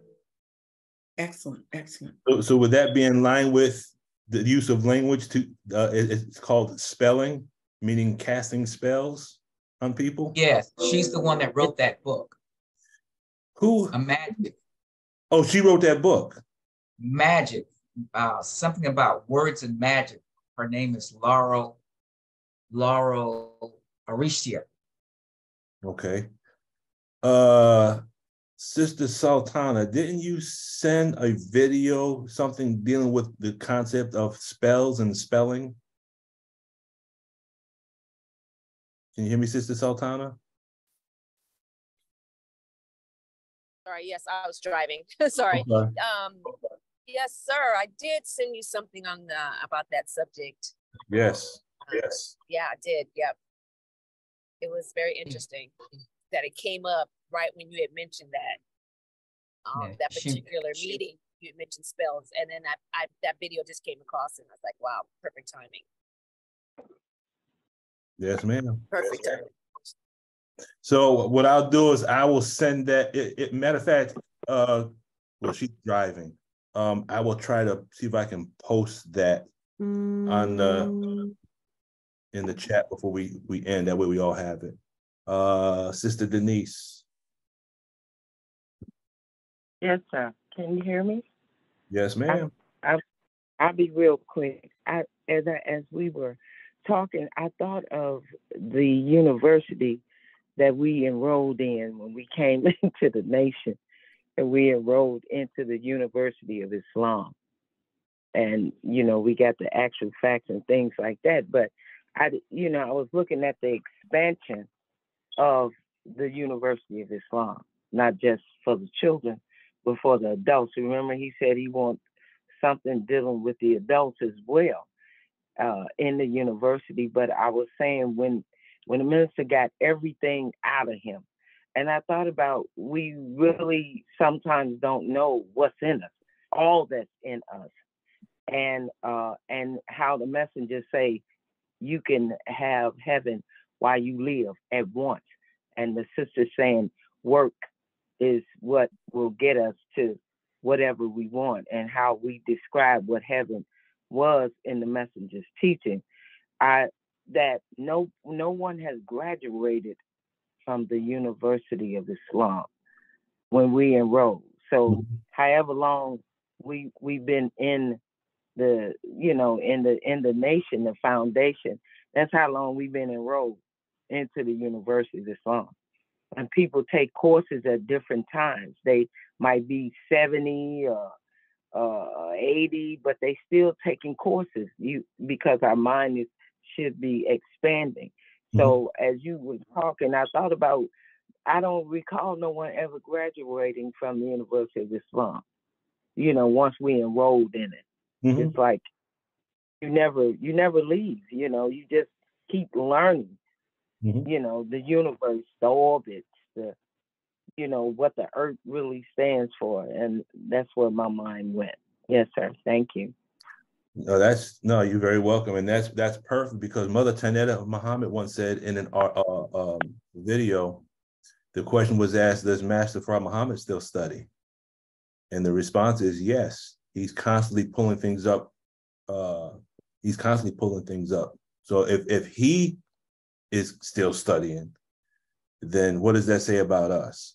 Mm-hmm. we don't have no excuse because we're still in the kindergarten of his wisdom. Yes, yes. Okay. Uh, Sister Anya.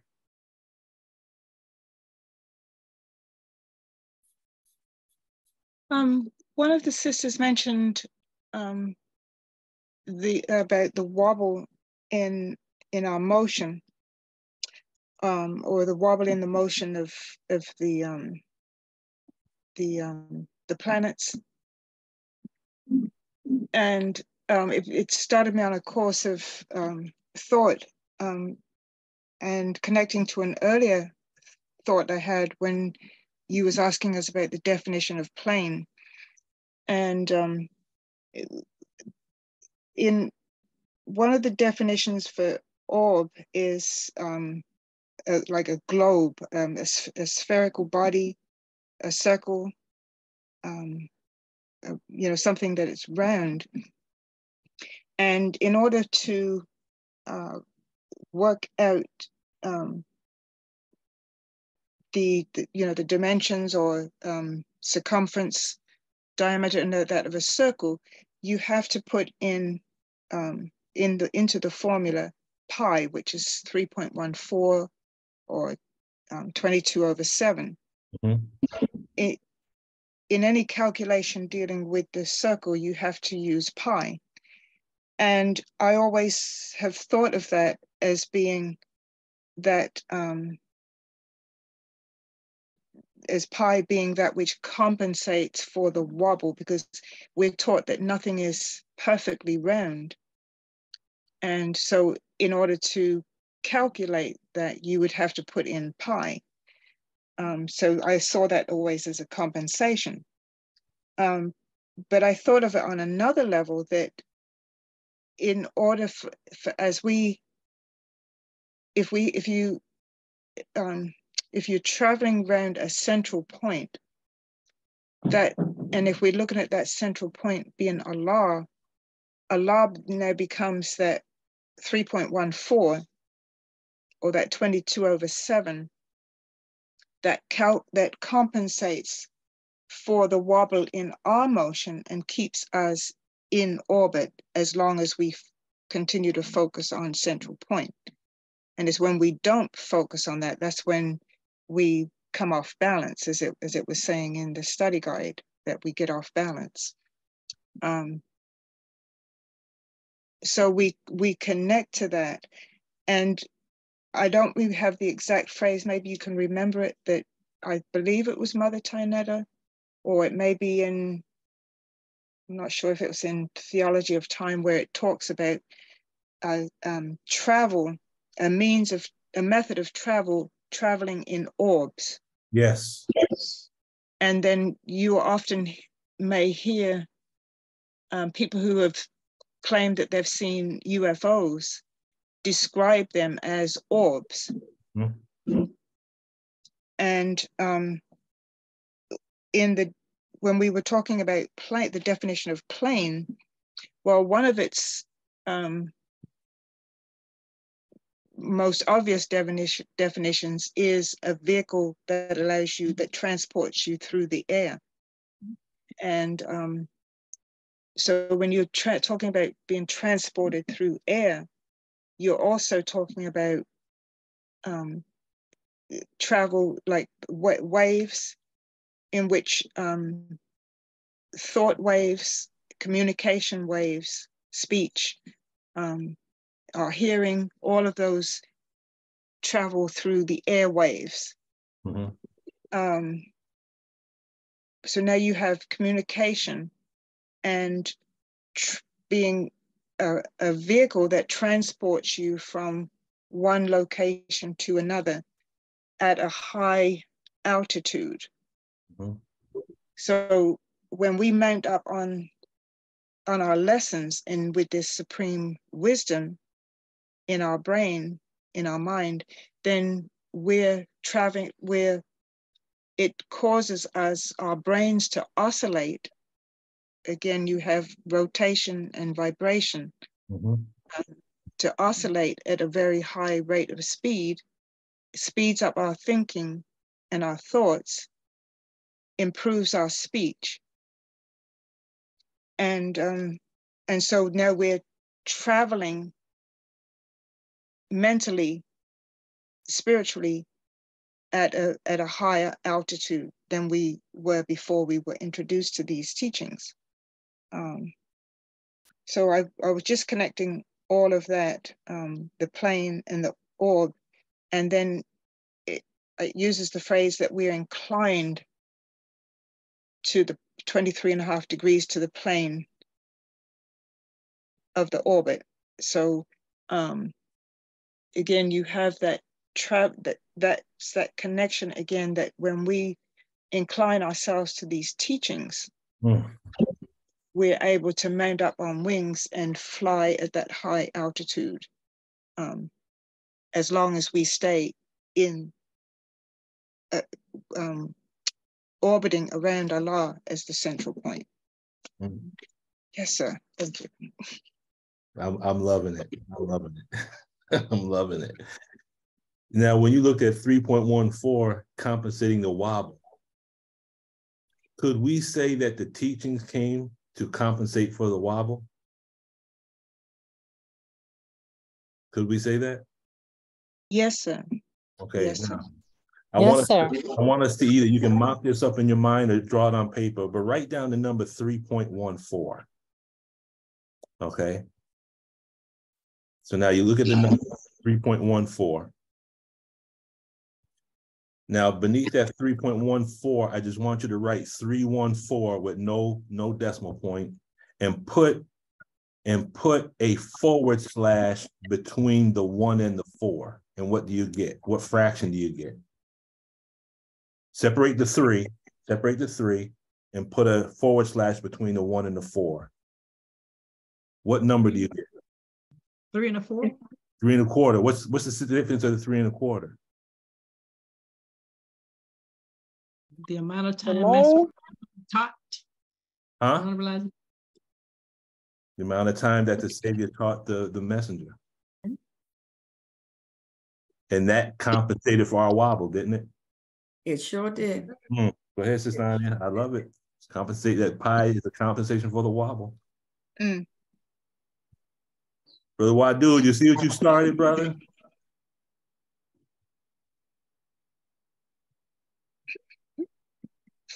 Maybe you can't come on. Let's let's let's let's go ahead and finish this. Uh, I'm sorry, brother. I'm at work and uh, I understand. I understand. To as I yeah, brother. Thank you for this topic, brother. Mm. All praise belongs to Allah. Sir. Please make sure I'm able to uh, re-listen to it uh, at some point in the near future. I'm gonna I'm gonna index it and put it on the YouTube channel today, uh, inshallah. Yes, sir. Yes, sir. Thank you. I have to go now. I'm Yes, sorry. sir, brother. Well, well, thank you, bro. You did you you did your you did your assignment. You you you produced this topic for us, and and, and I know I can speak for the room, I believe, but I know I'm loving it. Mm-hmm. Yes, All sir. praise is due to Allah. Okay. There's a part two on Sunday, correct? I'm I'm thinking about going a little deeper into this, brother, because this, this is just this is just pregnant with uh with with data. Because I did have one one comment on the um, portion that I heard early uh, from the Holy Quran. I think you said it was Surah 36, verse 40. Yes, sir. And as I read that, it said, in their orbits floating. And then uh, thinking that floating, we, uh, we equate it with uh, ships that are mentioned in the Holy Quran floating on, um, and floating being that, that operative word that kind of stood out for me and it's relevant to uh, the planet floating and, and how that may connect with water. Oh, well, we're going to connect that with Dianetics too, brother, because that's already that's already in one of the slides we're about to cover. So that's that's, Praise be to Allah. yeah, that's very relevant, brother. Thank you. Assalamu alaikum. Islam, sir. Okay, so an orbit, an orbit could represent a thought, an idea, or a work that allows one to manifest their purpose. Does that make sense? Because if we're in our orbit, then aren't aren't we in harmony with the sun? Mhm. So aren't we? So whatever is the center of our orbit, then we're in harmony with that central point, correct? Right.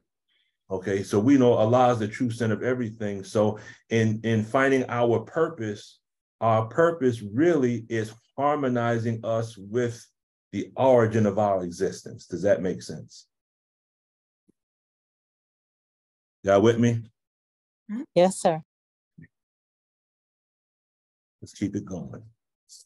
So a work or a mission that brings one a sense of peace. Oh, wait a minute. Had a little snafu with my computer here. Back.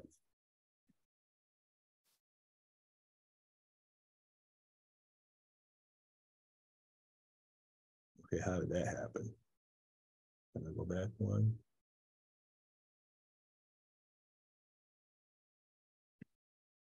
Okay, there we go. Let me go back this way. Okay. Okay. Okay. So now when you look at the actual ayat from the Holy Quran, neither is it for the sun to overtake the moon, nor can the night outstrip the day, and all float on in an orbit.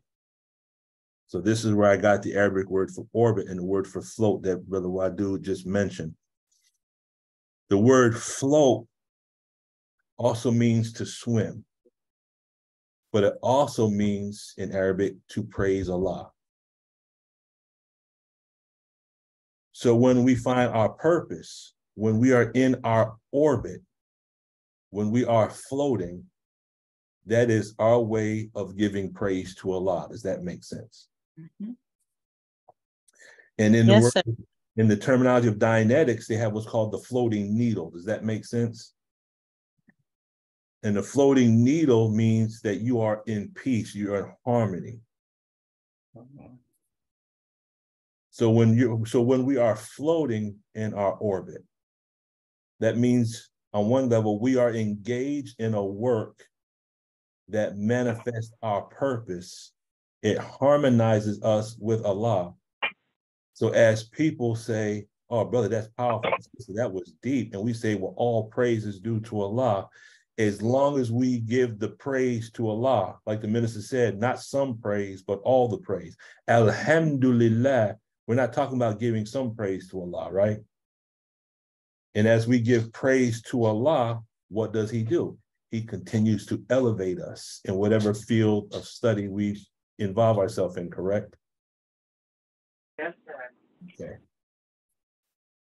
Yes, sir. He does. Now, when you look at the word orbit, the word orbit in Arabic is falakin, comes from the root, the root word falak, which means celestial sphere, a star, a circuit. And the, the term ilm al falak means astronomy. Okay. So can we see how floating in an orbit could be like used as a demo kit to illustrate us being in harmony with Allah and manifesting our gifts and talents and manifesting that which Allah placed in us before our birth, that we can manifest our purpose in order to praise Allah? Does, can we see that? Yeah. Okay. Yes, sir. Yes. Uh, Sister Jocelyn. Yes, sir. I, um, gotta look my family. As you were speaking, um, it makes me think about the study guides that the Honorable Minister Farrakhan gave us, Mhm. and it from just from from my perception, because we are so out of orbit, he had to give us Dianetics so that we could be better at our self-analysis and self-examination and self-correction because we're so aberrated we couldn't even appreciate the study guide because if we're studying ourselves then, then we are studying a lot. And and as we study a lot and understand ourselves then we'll be in a better position to um be a community you know to do the development. But because we're so out of orbit we can't even you know bring the nation into fruition as Allah wants it to be. So, but he, the Minister Farrakhan already gave us like the technology, but I just feel like because we were so out of orbit, we couldn't appreciate it and and actually be in obedience to manifest that self improvement. So Mhm.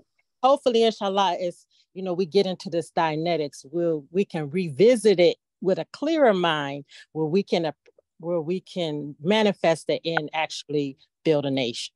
Yes, ma'am. Yes, ma'am. And and what you said is exactly what the minister said in the in that video where he speaks in Los Angeles. He says it's like we had a safe full of uh, treasure. I think he said, but we had lost the combination. Correct. So so really, right now, what I'm striving to do, and this is this is going to be a work, but I've I've started on study guide number two. What I'm striving to do now is go through the study guides and and and marry it with the Dianetic tech. Mhm. That's what I'm striving to. So, so it allows us to reintroduce ourselves to the study guide uh, material, self-improvement. But then now we can look at it from the standpoint of, okay, now let's apply it. Let's really apply it to the science, you know, look at it from the aspect of the science of the mind, and we can actually use self-improvement from many different aspects. But you, you 100% right and exact, Sister Jocelyn. We've had the, we've had the, we've had the self-improvement for years, but have, so, but where have we gone with it? Right, exactly. Okay. So, Yes, sir. uh, let me go back here. Here. And. Okay. Okay, did I? Oh, okay, I know what happened. Okay. So here's where the PowerPoint ends, but let me pull up this one little video. I wanted to, the video is only a minute and 15 seconds long. Um, let's see if I can pull it up real quick. Uh, here, here, and uh, that's is that part one? Or is this? Okay, I think this is it. One- Oh, this is it. Okay. Okay. So here's the first video. I'm gonna show the video and then I'm gonna ask us to share what we see within as we watch this video. It's only a minute and 15 seconds long, so, so it should be all right.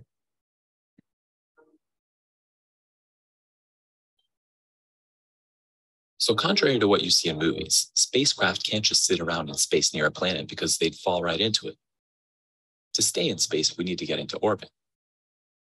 So, first, we take off from Earth's surface, fly up past the atmosphere, and keep accelerating more and more so that we start looping around Earth before we could fall back into it. Now we're in orbit. This is where we're in zero G because even though we're still pulled downwards, we're just sort of free falling back onto our own trajectory. Now, for example, to get to the moon, we need to point forward and fire our engines to expand our orbit until it intersects with the moon's path. Now, even though the moon's gravity is starting to pull us in, we still need to flip around and burn our engines in reverse to slow down and get into orbit. At this point, we can pick a spot to land, burn our engines against our trajectory, and come down to the surface. So that's it for now, guys. Just something you can share with a friend who wants to learn more about space travel without all the fancy math or terminology. Thanks for watching and check the comments section for more details and stay tuned for more videos. Okay, now, did anyone get any any any cognitions, any thoughts, anything come to mind as you're watching that small little clip? If not, I'll share. Go ahead, Sister Peggy. Cognition I got was about Katherine Johnson and how she helped uh, determine the trajectory of how so that Glenn could get back in from space back to the Earth. You're talking about Hidden Figures. Katherine Johnson. Uh-huh. Mm-hmm. No, I'm saying you're talking about like that from the from the movie as well. That's but. Well, yeah, there is a movie about her and two of her friends. Yes, ma'am. Mm-hmm. And yeah, but that's what she did. She helped him get back to the planet Earth. She he was not on the moon. He was orbiting, so she helped him get back. That's what I thought about. Okay. About trajectory. Anyone else? Yes, sir. Oh, go ahead, Sister Charlotte. And, and, and I'm not sure if it totally relates, but for me, as I was watching the rocket go in orbit, it made me look at sometimes it appears for me that I'm going backwards and losing ground, but I'm still I'm still in the process. Mm-hmm. I'm just looking at it from a a, a, a different view, but I'm I'm still in the process. Mm-hmm. Yes, ma'am. As long as we stay in motion. Sister Melanie. I'm like, that's exactly what I thought as well, because you know, it's a, the, the the plane goes up, but just because you know the the, the well not the plane, but the the the, the um, ship, the spaceship goes up, but just because it's up, it's not in orbit, and if there's not movement, that you will actually crash. And so there has to be that movement in order for you to continue on. So just because we're on the path, just because we join the nation, that doesn't mean that we're actually, we have to move. We can't just come in and just sit and not, you know, and be, you know, uh, uh, movement. Otherwise, we will crash. So that's what I thought of. Yes, ma'am. We got to work, right? Yeah, yeah. You know, we got to we got to do the work for our own salvation. Uh, Allah does not change the condition of a people until they change their own condition. So who's gonna who's gonna save who's gonna save Sister Melanie? Sister Melanie better get to work and save the minister has given us the tools. He Mm-hmm. has given us the mathematics. He has given us the wisdom by the grace of Allah th- through the uh, Most High Elijah Muhammad and the Savior. But we, we can't just par- if we just parakeet the wisdom, then we're just a jackass carrying a book, aren't we? Exactly, exactly. Okay, but that's yeah, yeah you got to do that was that was good. You got to do the work, Sister Belinda. Uh, mine was pretty much along those same lines. I had thought of lining up with the law, Master Prophet Muhammad, get up to speed, then sync. That's what came to me as I watched it. Okay. Yes, ma'am. Yes, ma'am. I'm I'm, I'm enjoying it. Sister Anya. The, the Sister Anya is gonna be our um I gotta I gotta get her, I gotta give her I gotta give this scientist another Made me forget my thought. I want you to Go ahead, Sister Anya.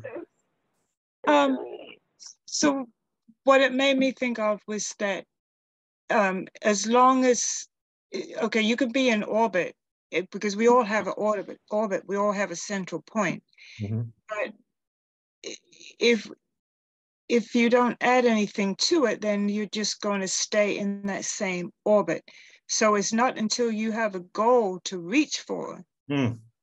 that it will make you change your orbit. So in order to get the moon to the moon, Mhm. it had to widen, it had to change the um, widen its orbit until it could actually connect with the orbit of the moon, and then it was able to get into the moon's orbit.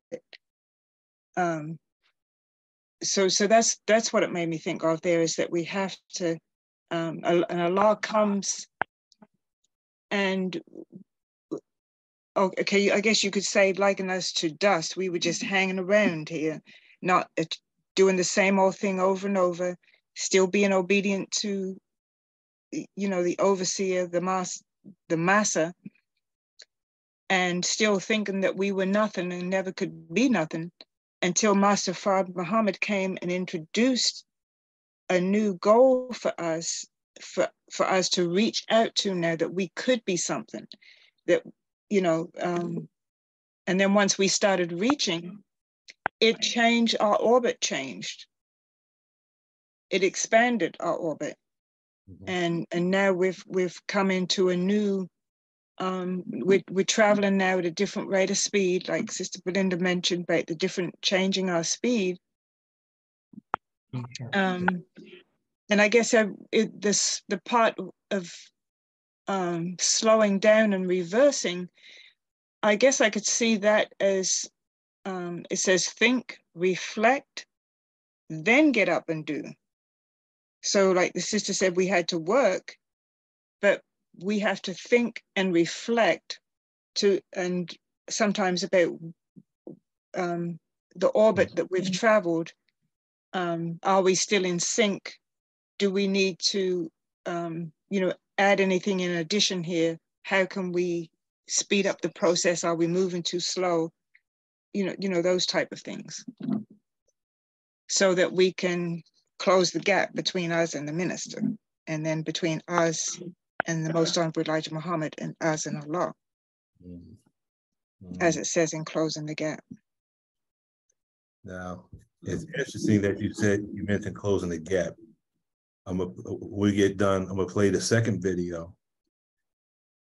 And you're gonna understand the second video as a demo kit with regards to closing the gap. But I also want to say this one other point, Sister Anya. When you talk about Allah creating us from dust, you're coming out of, again, that's study guide number two, question number one. And I'm gonna give this, and if Sister Belinda could post this in the uh, the, ch- the chat, the definition for end phenomenon, if you could, please, Sister Belinda.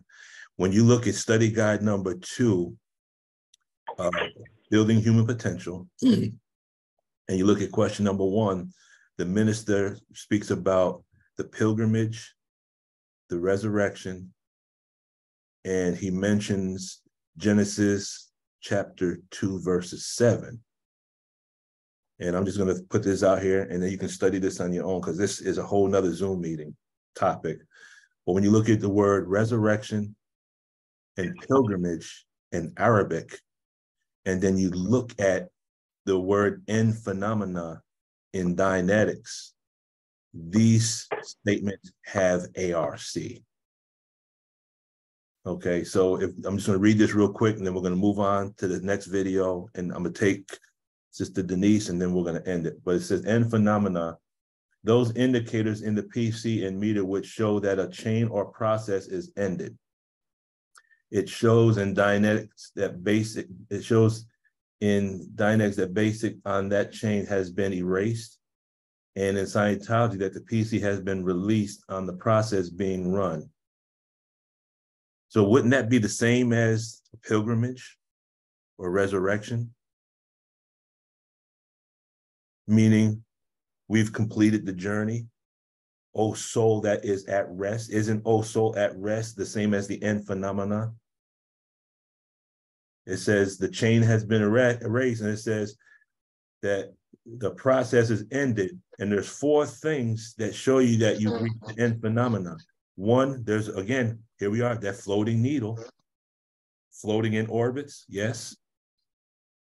Floating needle, cognition, very good indicators, meaning the PC is happy, high on tone level, in erasure of the final picture audited. It says uh, the zero to four Scientology end phenomena, so, and it goes back to those things again. But when you look at the floating needle cognition and being very happy, wouldn't that be the end result of a pilgrimage or a resurrection? Can we see how all this ties together, has agreement with one another? Can we see that? Yes, sir. Okay. Sister Denise. Um, Yes, sir. Go ahead, Sister Denise. I was thinking, um, you know, my thoughts was running so fast. I I thought it, I I was wondering. Um, so is that like the end, the end of the journey, or or is it? I was thinking about every level. You know, you uh, and and and Sunday, you you know, um, the class was talking about um, going past forty points 0 mm-hmm. Okay, and uh, you know, up there with the gods, I I, I believe I, I, heard you say or somebody say that. Um, um, so I was wondering about these tools that the minister give, gave us, which is dynamics. It's so n- no one stopped at certain levels. You know, when you go and you in that orbit, Mm-mm. but it's it's it's other orbits, right? Yes, ma'am. Okay. So I was thinking about tools and and I know I know how to use a hammer. Okay, but I don't know how to use a metal hammer. And when when my husband gathered his tools, I said, What you gonna do now? He I said, What do you need that for? you know, and he had different tools for different jobs. Yes, ma'am. Thought about Dianetics and the study gas and all of these tools that we have uh, to to help us get to the next orbit and and the next orbit and Mhm. you know we just keep going up the tone scale where uh, after 40 it's it's unlimited can i say that can i say Tone 40 is just an arbitrary number, but L. Ron Hubbard has said that tone 40 is not the limit. There's there's way beyond tone 40, but that's just a number that was used. oh okay okay But you have yes, sir. absolutely right. So- Yes.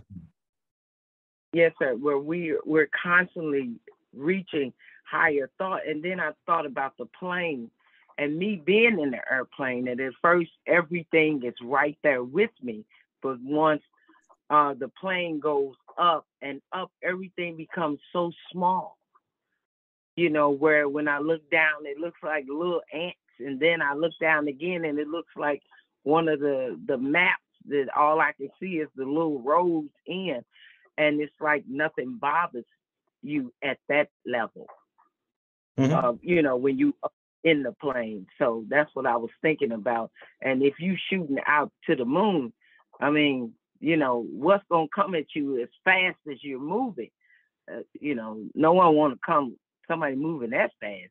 As a matter of fact, they just get out the way and just let you just go higher. You know, go as high as you can which is one of our provisional for our constitution for the female to go as high as her God given rights, you know, as God give to her, she goes higher and higher.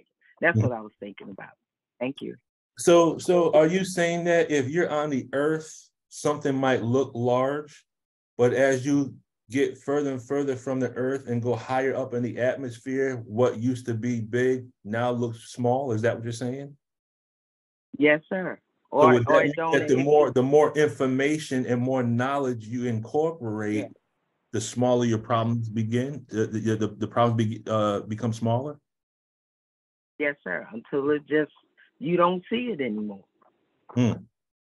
Kind of like putting the devil around our pinky and we wouldn't even know he's there unless we looked at him. Exactly, because we we look at him because we in somebody else's orbit. But when we get when we get and get into uh the minister says start start practicing being God. You Hmm. know, this is this is a big thing here, being God, practicing it. Mhm. You know, postulate, see if it if it if what we postulate if it comes to to pass. You know, come to the future rather rather. You know, yes, sir, absolutely. You know, we're that rocket that's going up, trying to adjust to being in a different atmosphere. Hmm. And we said the minister has his own atmosphere. He comes, I mean, when he comes, I, it's just like TD Jake said he didn't he didn't want to come behind the minister. you know, it's like what I got to say after after he comes, you know. Mhm. So like that's it. Let's drop the mic. Drop the mic. So that's that's thinking about well, you know, as because he's not a show off, you know, is that that is is that humility. I was so honored that he shared his birthday with us, hmm. 90 years. I was like, whoa, you know, we're we're looking at at at someone who started off, you know, just like we all do, but he was determined. And so, a wonderful example of how we can get out of our orbit, get into what we have, and we and we got all types of tools, not just a regular saw. You know, we have an electric saw, we have, uh, you know, all types of tools that he's given us if we're listening to him that we can use, you know, to get into the next orbit. Mhm. Yes, sir. That's all I have. Praise Thank you. be God. Thank you. Go ahead, Sister Anya.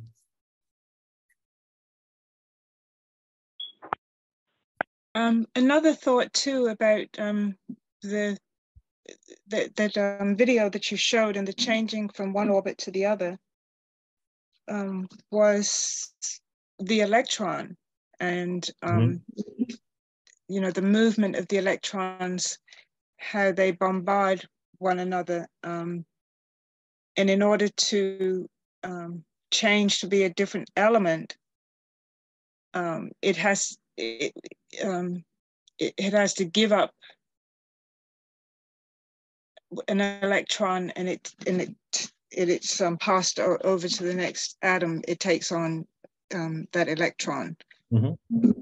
so so I, I thought about that too because that I saw that in the coming out of the earth orbit to get into the moon's orbit how it's it, it reminded me of that electron being passed over Mhm. um, so I'm sure there's, um, if, if we're going to do a part two, that probably um, we could delve into that more. I'm sure there's much more to be discovered there. Oh, yes, ma'am. Yes, ma'am. But those electrons actually sit in what's called orbitals around the nucleus. Yes, yes, sir. Yes, sir. Mm. And then um, another thought was in the word orbit itself. Um, you have the word orb, of course, Mhm. but then you have it or IT, and IT is information technology. Yes. All right. Mhm. All right. Information technology. Yes, ma'am. Yes, sir. Well, thank you definitely, Sis Anya. Brother Eric.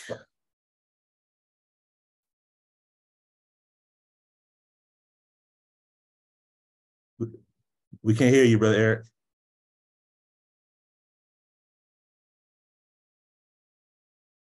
You're, you're not on mute, but we can't hear you.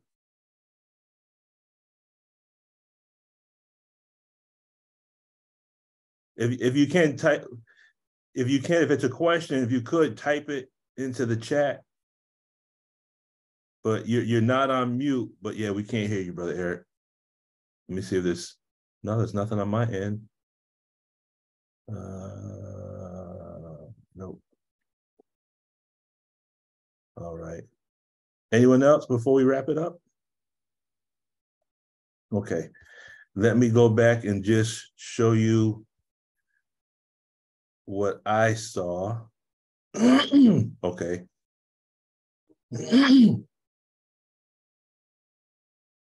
So contrary to what you see in movies, spacecraft can't just sit around in space near a planet because they'd fall right into it.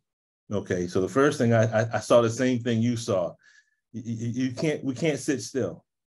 If we sit still, then there's no movement, then we just fall into the earth. So so now let's look at that.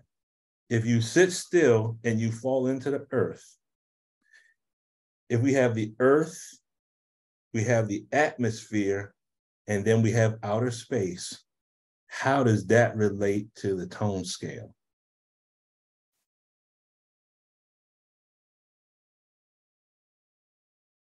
How can we line that up with the tone scale?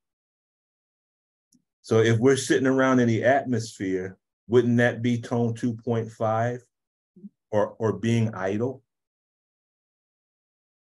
Could the earth could then the earth represent tone 2.0 and below? Because if we sit around and do nothing, what happens? We go down tone, correct? Right. So the whole goal is if we're if we're in 2.5, the atmosphere, if we keep working, then that takes us where? Tone 3.0 and above, correct? Mhm. Okay. So then we have the earth, we have the atmosphere, and we have outer space. Can we say that that lines up with the tone scale, the three la- the three levels of the tone scale? Yes. Yes. Okay. Does everyone see that? Does that make sense? To stay in space, we need to get into orbit. So first, we take off from Earth's surface, fly up past the atmosphere, and keep accelerating more and more so that we start looping around Earth. Okay, we have to excel, correct? Mhm. What does the word excel? We know what acceleration means to go faster, but if we clear the word excel, what does the word excel also mean? To excel in a subject means to become great or to study or to get a higher understanding of something, correct? Right. So then would that imply that in our study and our work, that's what keeps us from being idle and falling back to the earth? That's what keeps us in an orbit in, in the space, correct? The high tone level, yes? Or we could fall back into it. Now we're in orbit. This is where we're in zero G because even though we're still pulled downwards, we're just sort of free falling back onto our own trajectory. Okay, zero G. Zero G means zero gravity. Does that make sense? Mhm. Okay. And it said, even though the gravity's still pulling, because the vehicle stays in motion, the gravity doesn't pull it back, correct? Mhm. Can someone Right. the word- pull up the word gravity in the dictionary real quick? Someone pull up the word gravity in the dictionary.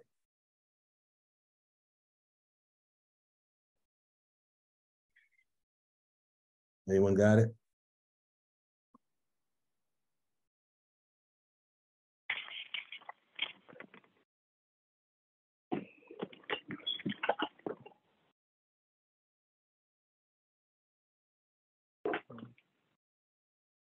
Who has it? I do. Go ahead, I- sis- go ahead, It's- Sister Melanie. Okay, it says gravity, the force of attraction by which terrestrial bodies tend to fall toward the center of the earth. Mhm. Gravitation in general, heaviness or weight, and seriousness of a critical uh, nature. Okay. So I think the force or attraction by which terrestrial bodies tend to fall toward the center of the earth. okay, so now look at that. Gravity also, it comes from the root, the root word is the same root word as grave, Mhm.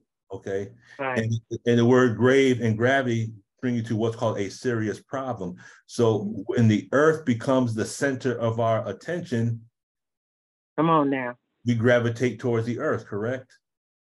Yes, sir. But it says Allah is the true center of all things. So we can't we can't have Allah as the center and the earth as the center at the same time, correct? Right.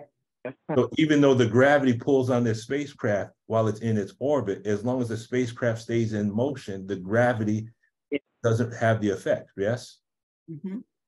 What, so what does that teach us? As long as we continue to work and do what we need to do with regards to our purpose or our orbit, then we don't have time to deal with falling back to the earth and getting involved in, you know, whatever our shortcomings or defects are. And, and it's going to happen because we're imperfect because we have a wobble in our in our nature, correct? Mhm. Okay, so when we come back to the earth, what do we got to do? We just got to launch the spacecraft again, right? Yes. Back, get back in the ship and and and and try to launch again, correct? Mhm. Okay. Doctor. Now, for example, to get to the moon, we need to point forward and fire our engines to expand our orbit until it intersects. Now, in order to get to the moon, isn't that another another plane of existence? Mhm. So in increasing its orbit, doesn't the ship have to increase, the ship has to increase the diameter Mhm. in order to increase its radius? So in the words of the Honorable Minister Louis Farrakhan, when we increase the diameter of our thinking, it increases the circumference of our activity and allows us to do what? To travel to higher planes of existence, yes? Mhm. Right. Yes, sir. That's with the moon's path. Now, even though the moon's gravity is starting to pull us in, we still need to flip around and burn our engines in reverse to slow down and get into orbit. At this point, we can pick a spot to land, burn our engines against our trajectory, and come down to the surface. So now we find that next plane of existence, slow things down, and we land on that, meaning what? Now we take the time to study this new concept or this new subject, correct? Mhm. Okay. Now, do we do we have maybe five more minutes? You talking about the video? I have another video that's about a minute long, but it ties in with something that Sister Anya spoke about with closing the gap. Yeah. Yes, sir. go ahead. Mhm. Yes, up in the air and it travels in an arc where the speed's slowest at the top. Me. Okay. Much like when you throw an object up in the air and it travels in an arc where the speed's slowest at the top. In space, you'll be orbiting a body slower at your highest point and faster at your lowest point. And if you have the same orbital path as something else, that already means you're going at the same velocity, and speeding up or slowing down will actually mean you're just changing the shape of your orbit. So you can't actually catch up to something if you're orbiting on the same path. So you see this, you see this gap that's between these two ships? Mhm. Okay. Because your velocities are fixed. Instead, you can just slow down to shrink your orbit, essentially creating a shortcut to intercept your objective, and then speed back up so that you stay in the same orbit. And if we're orbiting in a circle and we just want to get to a higher orbit, we need to first fire our engines forward to raise our orbit on the opposite end, and then wait until we reach that high point and fire our engines again See them crescents that keep popping up as we're doing this? Mhm. to circularize it. So firing our engines directly towards the destination won't really work because we're already going really fast in a totally different direction. Instead, we want to just add to the velocity we've already gained and let gravity itself direct us to the destination. Okay. Wow. So, so can you see how we can use different aspects of mathematics and science as demo kits to allow us to study Allah, our relationship with Allah and the universe. And not only that, but doesn't it make learning a little more enjoyable and less hostile? Whereas we have like now we have a desire, we we want to learn more about certain subjects. Is that does that did anyone get that same feeling? Yeah. Did we all have our cognitions? Do we have our own notes that we wrote down with cognitions and questions that that Allah blessed us to receive as we were going through this study? Yes, sir. Do we do we have case gains? Yes, sir. Yes, sir. Uh Sister Anya. Uh, yes, sir. Um, your words just now made me think about um, what we have to do to catch up or close the gap in watching that little video. That was so helpful. And when we get left behind, let's just say we're studying a subject in school and we get left behind. Um, maybe you've been out sick and you, you know you just you're not where the class is. So you have to do extra work. You have to. They said you have to accelerate until you can come back in alignment. So you do extra work to catch up on the missed assignments, or you get a tutor who, you know, if, if you're not grasping the subject, then you get a tutor who can bring you up to speed until you back in, in the, um, you know, match the orbit of the rest of the class. Mhm. So that's, that was, um, that demo kit came to mind as you were talking. Yes, ma'am. Thank you. Beautiful. Sis- Sister Melanie. Alaikum. Um, what I thought with this video as well as the other, and it was just a generalization uh, uh, of of a cognition. But when we were talking before about like the barriers to, to learning or to study, and I thought of these as giving us mass so that we could see, you know, the visualization using that as a demo, it gave us mass for some concepts that we were thinking about considering. So Mhm. you mass. Yes, ma'am. And, and that's the beauty of it. Um, what I do personally is whenever I, I come across the concept, I try to, I, I, this is how, you know, this is the language that I'm comfortable with. I try to look at it in the form of an equation. How can I use an equation to represent this concept? Because I, I like to memorize formula. Whereas someone else might like to study chemistry. They might look, say, okay, how can I use the atom in order to understand this concept? Someone else might say, well, how can I use the planets? But my thought is if we look at the problem book, the problem book gives us these problems almost like a toolbox of tools or demo kits. And then when we uh, once we understand our lessons, once we understand the problems in the problem book, we can say, you know what, that reminds me of problem such and such. How can I use that problem as a demo kit to understand this? And then I think what happens is it allows us it makes memorization of our supreme wisdom and our lessons and our student enrollment easier. But now, not only do we memorize it, but now it becomes applicable. So we have the theory and the practice. And I think each one of us, we might have different fields of mathematics and science that might that we might find appetizing. You know, of us might like to study mathematics. Some of us might want to say, you know, I want to study astronomy. Where someone else would say, you know what? I thought about studying quantum physics, but because I thought quantum physics was so difficult, I haven't taken the time to study. I think each one of us has a particular field of interest that's something that's that's in our nature, but fear has kept us from going down that path. And the goal is to remove the fear so that each one of us can manifest what level of mathematics and science really brings us peace. And then we find that, what do we find? We find our orbit. And that's what brings us balance. Me personally, sitting at my desk going through math and science, this is my prescription. This is self medication. This is how I find my peace. And I think each one of us has a path that we could find. Brother Eric, I did hear your voice there. So I think you are working. Yeah, as I realized that it was, uh, I was working on it. I see it working now. Mhm. Yes, sir. I hope you're okay. Okay, beautiful. Every everybody spoke like a scientist, and in fact, everything was said that was very good. Uh, the point that I wanted to make is that in order to get into this field of teaching that you you are advancing with us, we have to go to number one uh, instruction by Master Fard Muhammad. And with that, it will help us to understand uh, the, the path that we have to take. Most of us want to know about God, to hear uh, from God, but we, we are not following the direct instruction because the lesson number one has to be read, studied, and understood. And at that point, when we start uh, casting out that devil in us, it will allow us to have our ears more open to the teaching of the Muslim Elijah Muhammad.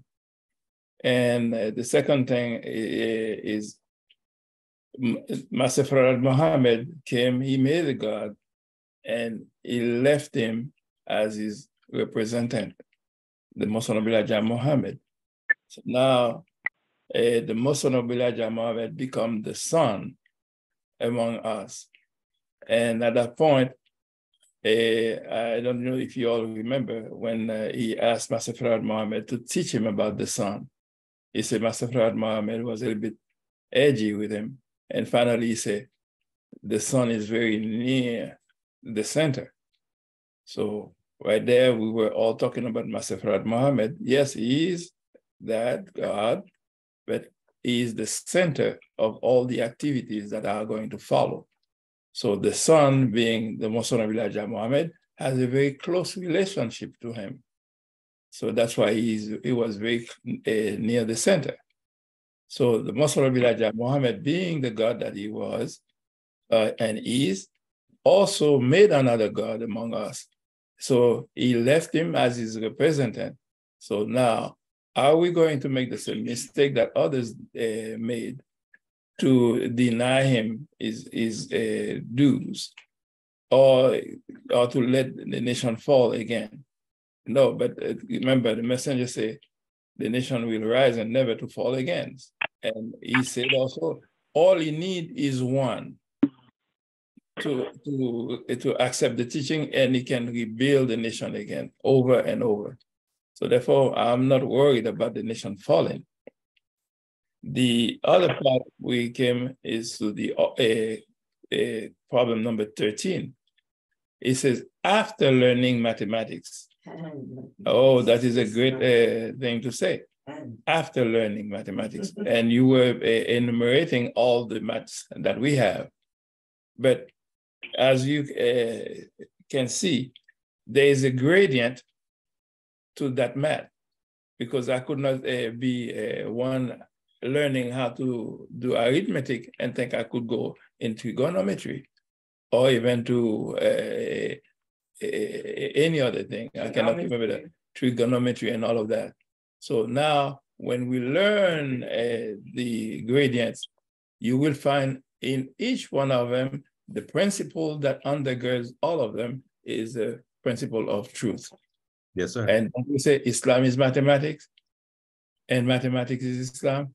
So both of the, and you say Islam is a religion of truth. So now mathematics also can only work with truth. So now this is the way Islam is mathematics. So after that, he introduced us to the lessons. But you mentioned orbit. As you can see, every planet stay in its own orbit, right? Uh, there is who say, oh, let me borrow a little bit uh, orbit from this one or that one, or let me steal a little bit. No, everyone knows its orbit and they all circulate around that orbit.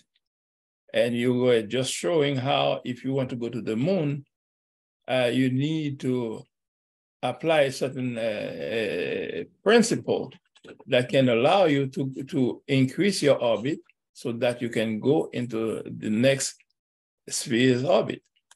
But all of that is to see if we really want to stay true to this teaching and the guidance, we have to know our own orbit because but Brother Lukman has a, its own orbit. So I can only follow what he's doing so that I can emulate is uh, example to get into a point where I can make my own orbit too, because the whole universe is ours to, to, to study. And last and least, the, the master called us student. So now if you have to be a student, you have to study. And why you study? You're studying lessons that can help you to grow in knowledge. And that knowledge, when acquired, it gives you the wisdom that you need to apply uh, what you learn.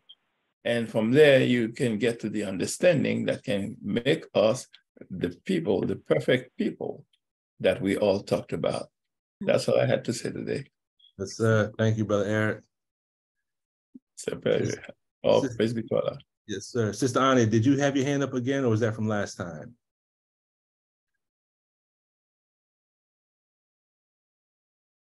It was from last time, but I did have something um, just real quickly. Okay. It, it was it was just um, giving appreciation to and um, all praise due to Master Fard Muhammad um, for his um, seeing up through time that even though he gave us these lessons, the the um, supreme wisdom lessons for us to study, but in his infinite wisdom, he saw that we would also need this valuable tool of Dianetics um, to help us um, increase our speed. Mm-hmm. um, in, you know that uh, he he saw that we would have some difficulty in grasping these lessons and not grasping quick enough um, to to keep pace with the time in which we needed to um, uh, to be at a certain level at a certain time. So he set in motion um, a plan for us, even back then, that we would, in this day and time, be introduced to the Dianetics that would bring about that acceleration in us grasping these teachings. So again, all praise is due to Allah. Mm-hmm. Yes, ma'am. Yes, ma'am. And the final, the final uh, question I'll ask the believers is this: If the believers have any subject or any topic that you like to see covered, you know, just as Brother Wadud made the suggestion about orbits, which actually brought us to the study of what we covered today. This is just this was actually based on a suggestion by Brother Wadud. If anyone has any concepts mathematics, science, physics, you know, doesn't make any difference. You can either put those uh, suggestions in the chat or send me an email and I take I take those suggestions as assignments. I, and I take them very seriously. I will I will begin to study that with the help of Allah and try to see how we can marry this with the tech. Because for each one of us to have that question in in hitting our math and science in this way who knows? This might be our the path that we take towards clear. I don't know but i know if we keep elevating up the tone scale and we keep getting attention units and if we keep getting more theta and our tone is going to the point where we have a desire to learn different levels of mathematics and science that means we, we're receiving case gain we are going up the tone scale and allah is mentioned in the holy quran He's the he's the exalter of ranks. He is the Lord of the ways of ascent, correct? And to me, that means he's the one that controls whether we can travel up the tone scale or not. And if we are getting case gain, then it's it's as a result of the work we're putting in, and it's a result of by Allah's grace that we're that we're increasing or going up towards that tone 40 and then beyond. So if there's any suggestions, please put it in the chat. Please send it in the email. Um, and that is what we will use for future topics. By Allah's grace, I will strive to have this indexed uh, before the end of the day and on the YouTube channel so that we can go back and review it as we see fit. Uh, let's see, is Sister, Sister Charlotte is not here. Okay, so we won't do the end of session. But with that being said and done, family, I thank you for your time and attention. I thank you for your patience. And I thought because we only had about eight or nine, um, I thought because we had only about eight or nine slides in the PowerPoint that the meeting would be about an hour and a half. But here we are at the three hour mark yet again. so with that family, uh, thank you for your input, your cognitions, your energy, your case gain. I look forward to seeing us all on Sunday the 21st. I don't know what the topic will be, but I know by Allah's grace, it will be something that will take us further into our study.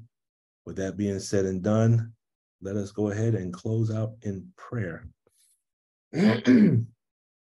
Attention prayer.